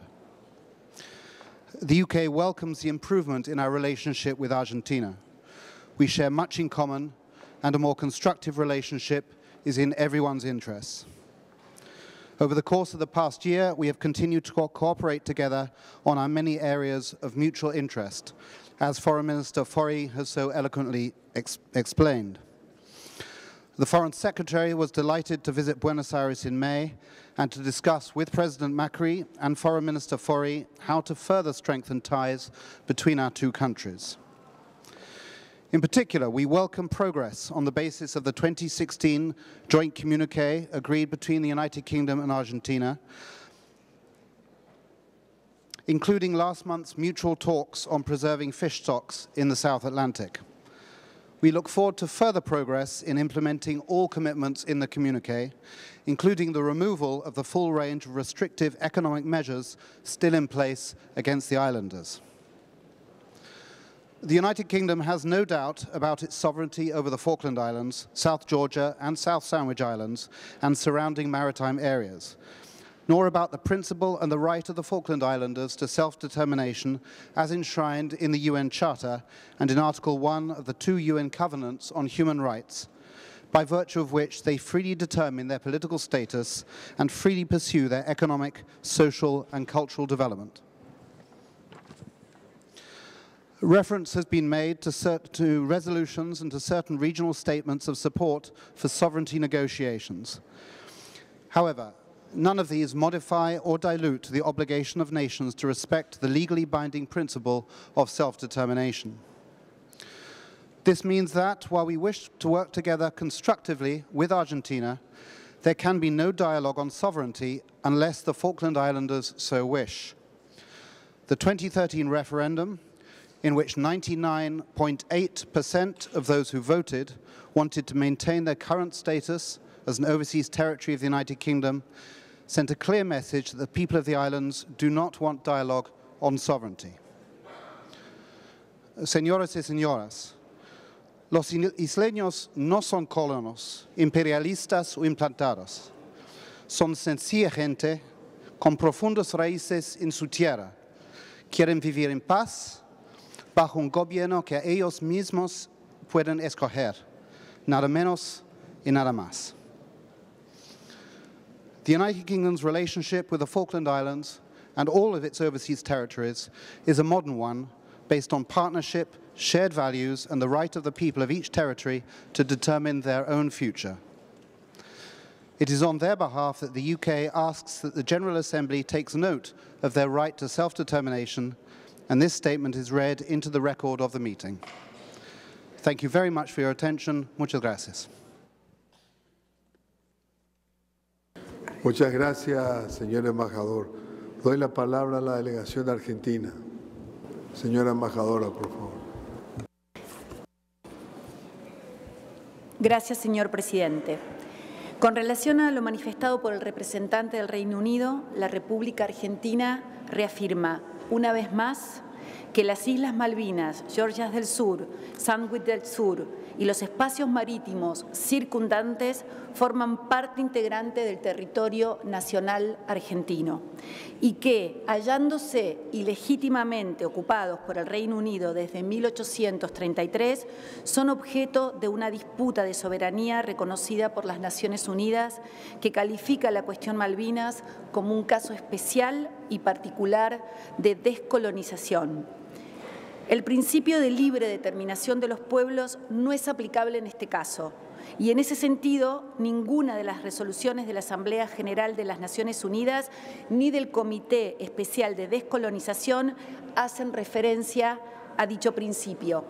El Gobierno argentino reitera una vez más su compromiso a respetar los intereses de los isleños, y su modo de vida, de acuerdo a lo establecido por nuestra Constitución Nacional y la Resolución 2065 de la Asamblea General de las Naciones Unidas.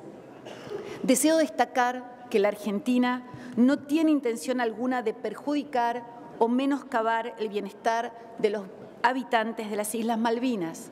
Muy por el contrario, hemos emprendido acciones para mejorar sus condiciones de vida a través del tiempo y seguiremos trabajando incansablemente en este sentido. Un ejemplo de ello es la iniciativa de adicionar un vuelo regular iniciado en países de la región con escala en el territorio continental y las Islas Malvinas con el afán de generar un contacto fluido y un clima de confianza con sus habitantes. Asimismo, las acciones que en materia de recursos naturales adopta la República Argentina tienen como objetivo la preservación de estos recursos tan importantes. Muchas gracias. Muchas gracias, embajadora. No habiendo más nadie en la lista de oradores, eh, pasamos, deberíamos pasar ahora a considerar, primero recibir el informe relator de la Comisión General y posteriormente su informe. Eh, la Secretaría nos ha puesto a conocimiento de que la misma se está trabajando y que tendría una demora de aproximadamente, ojalá que así fuera, de 30 minutos, por lo cual vamos a declarar un, receso de 30 minutos mientras esperemos, esperamos la, el informe de la Comisión General. Muchas gracias.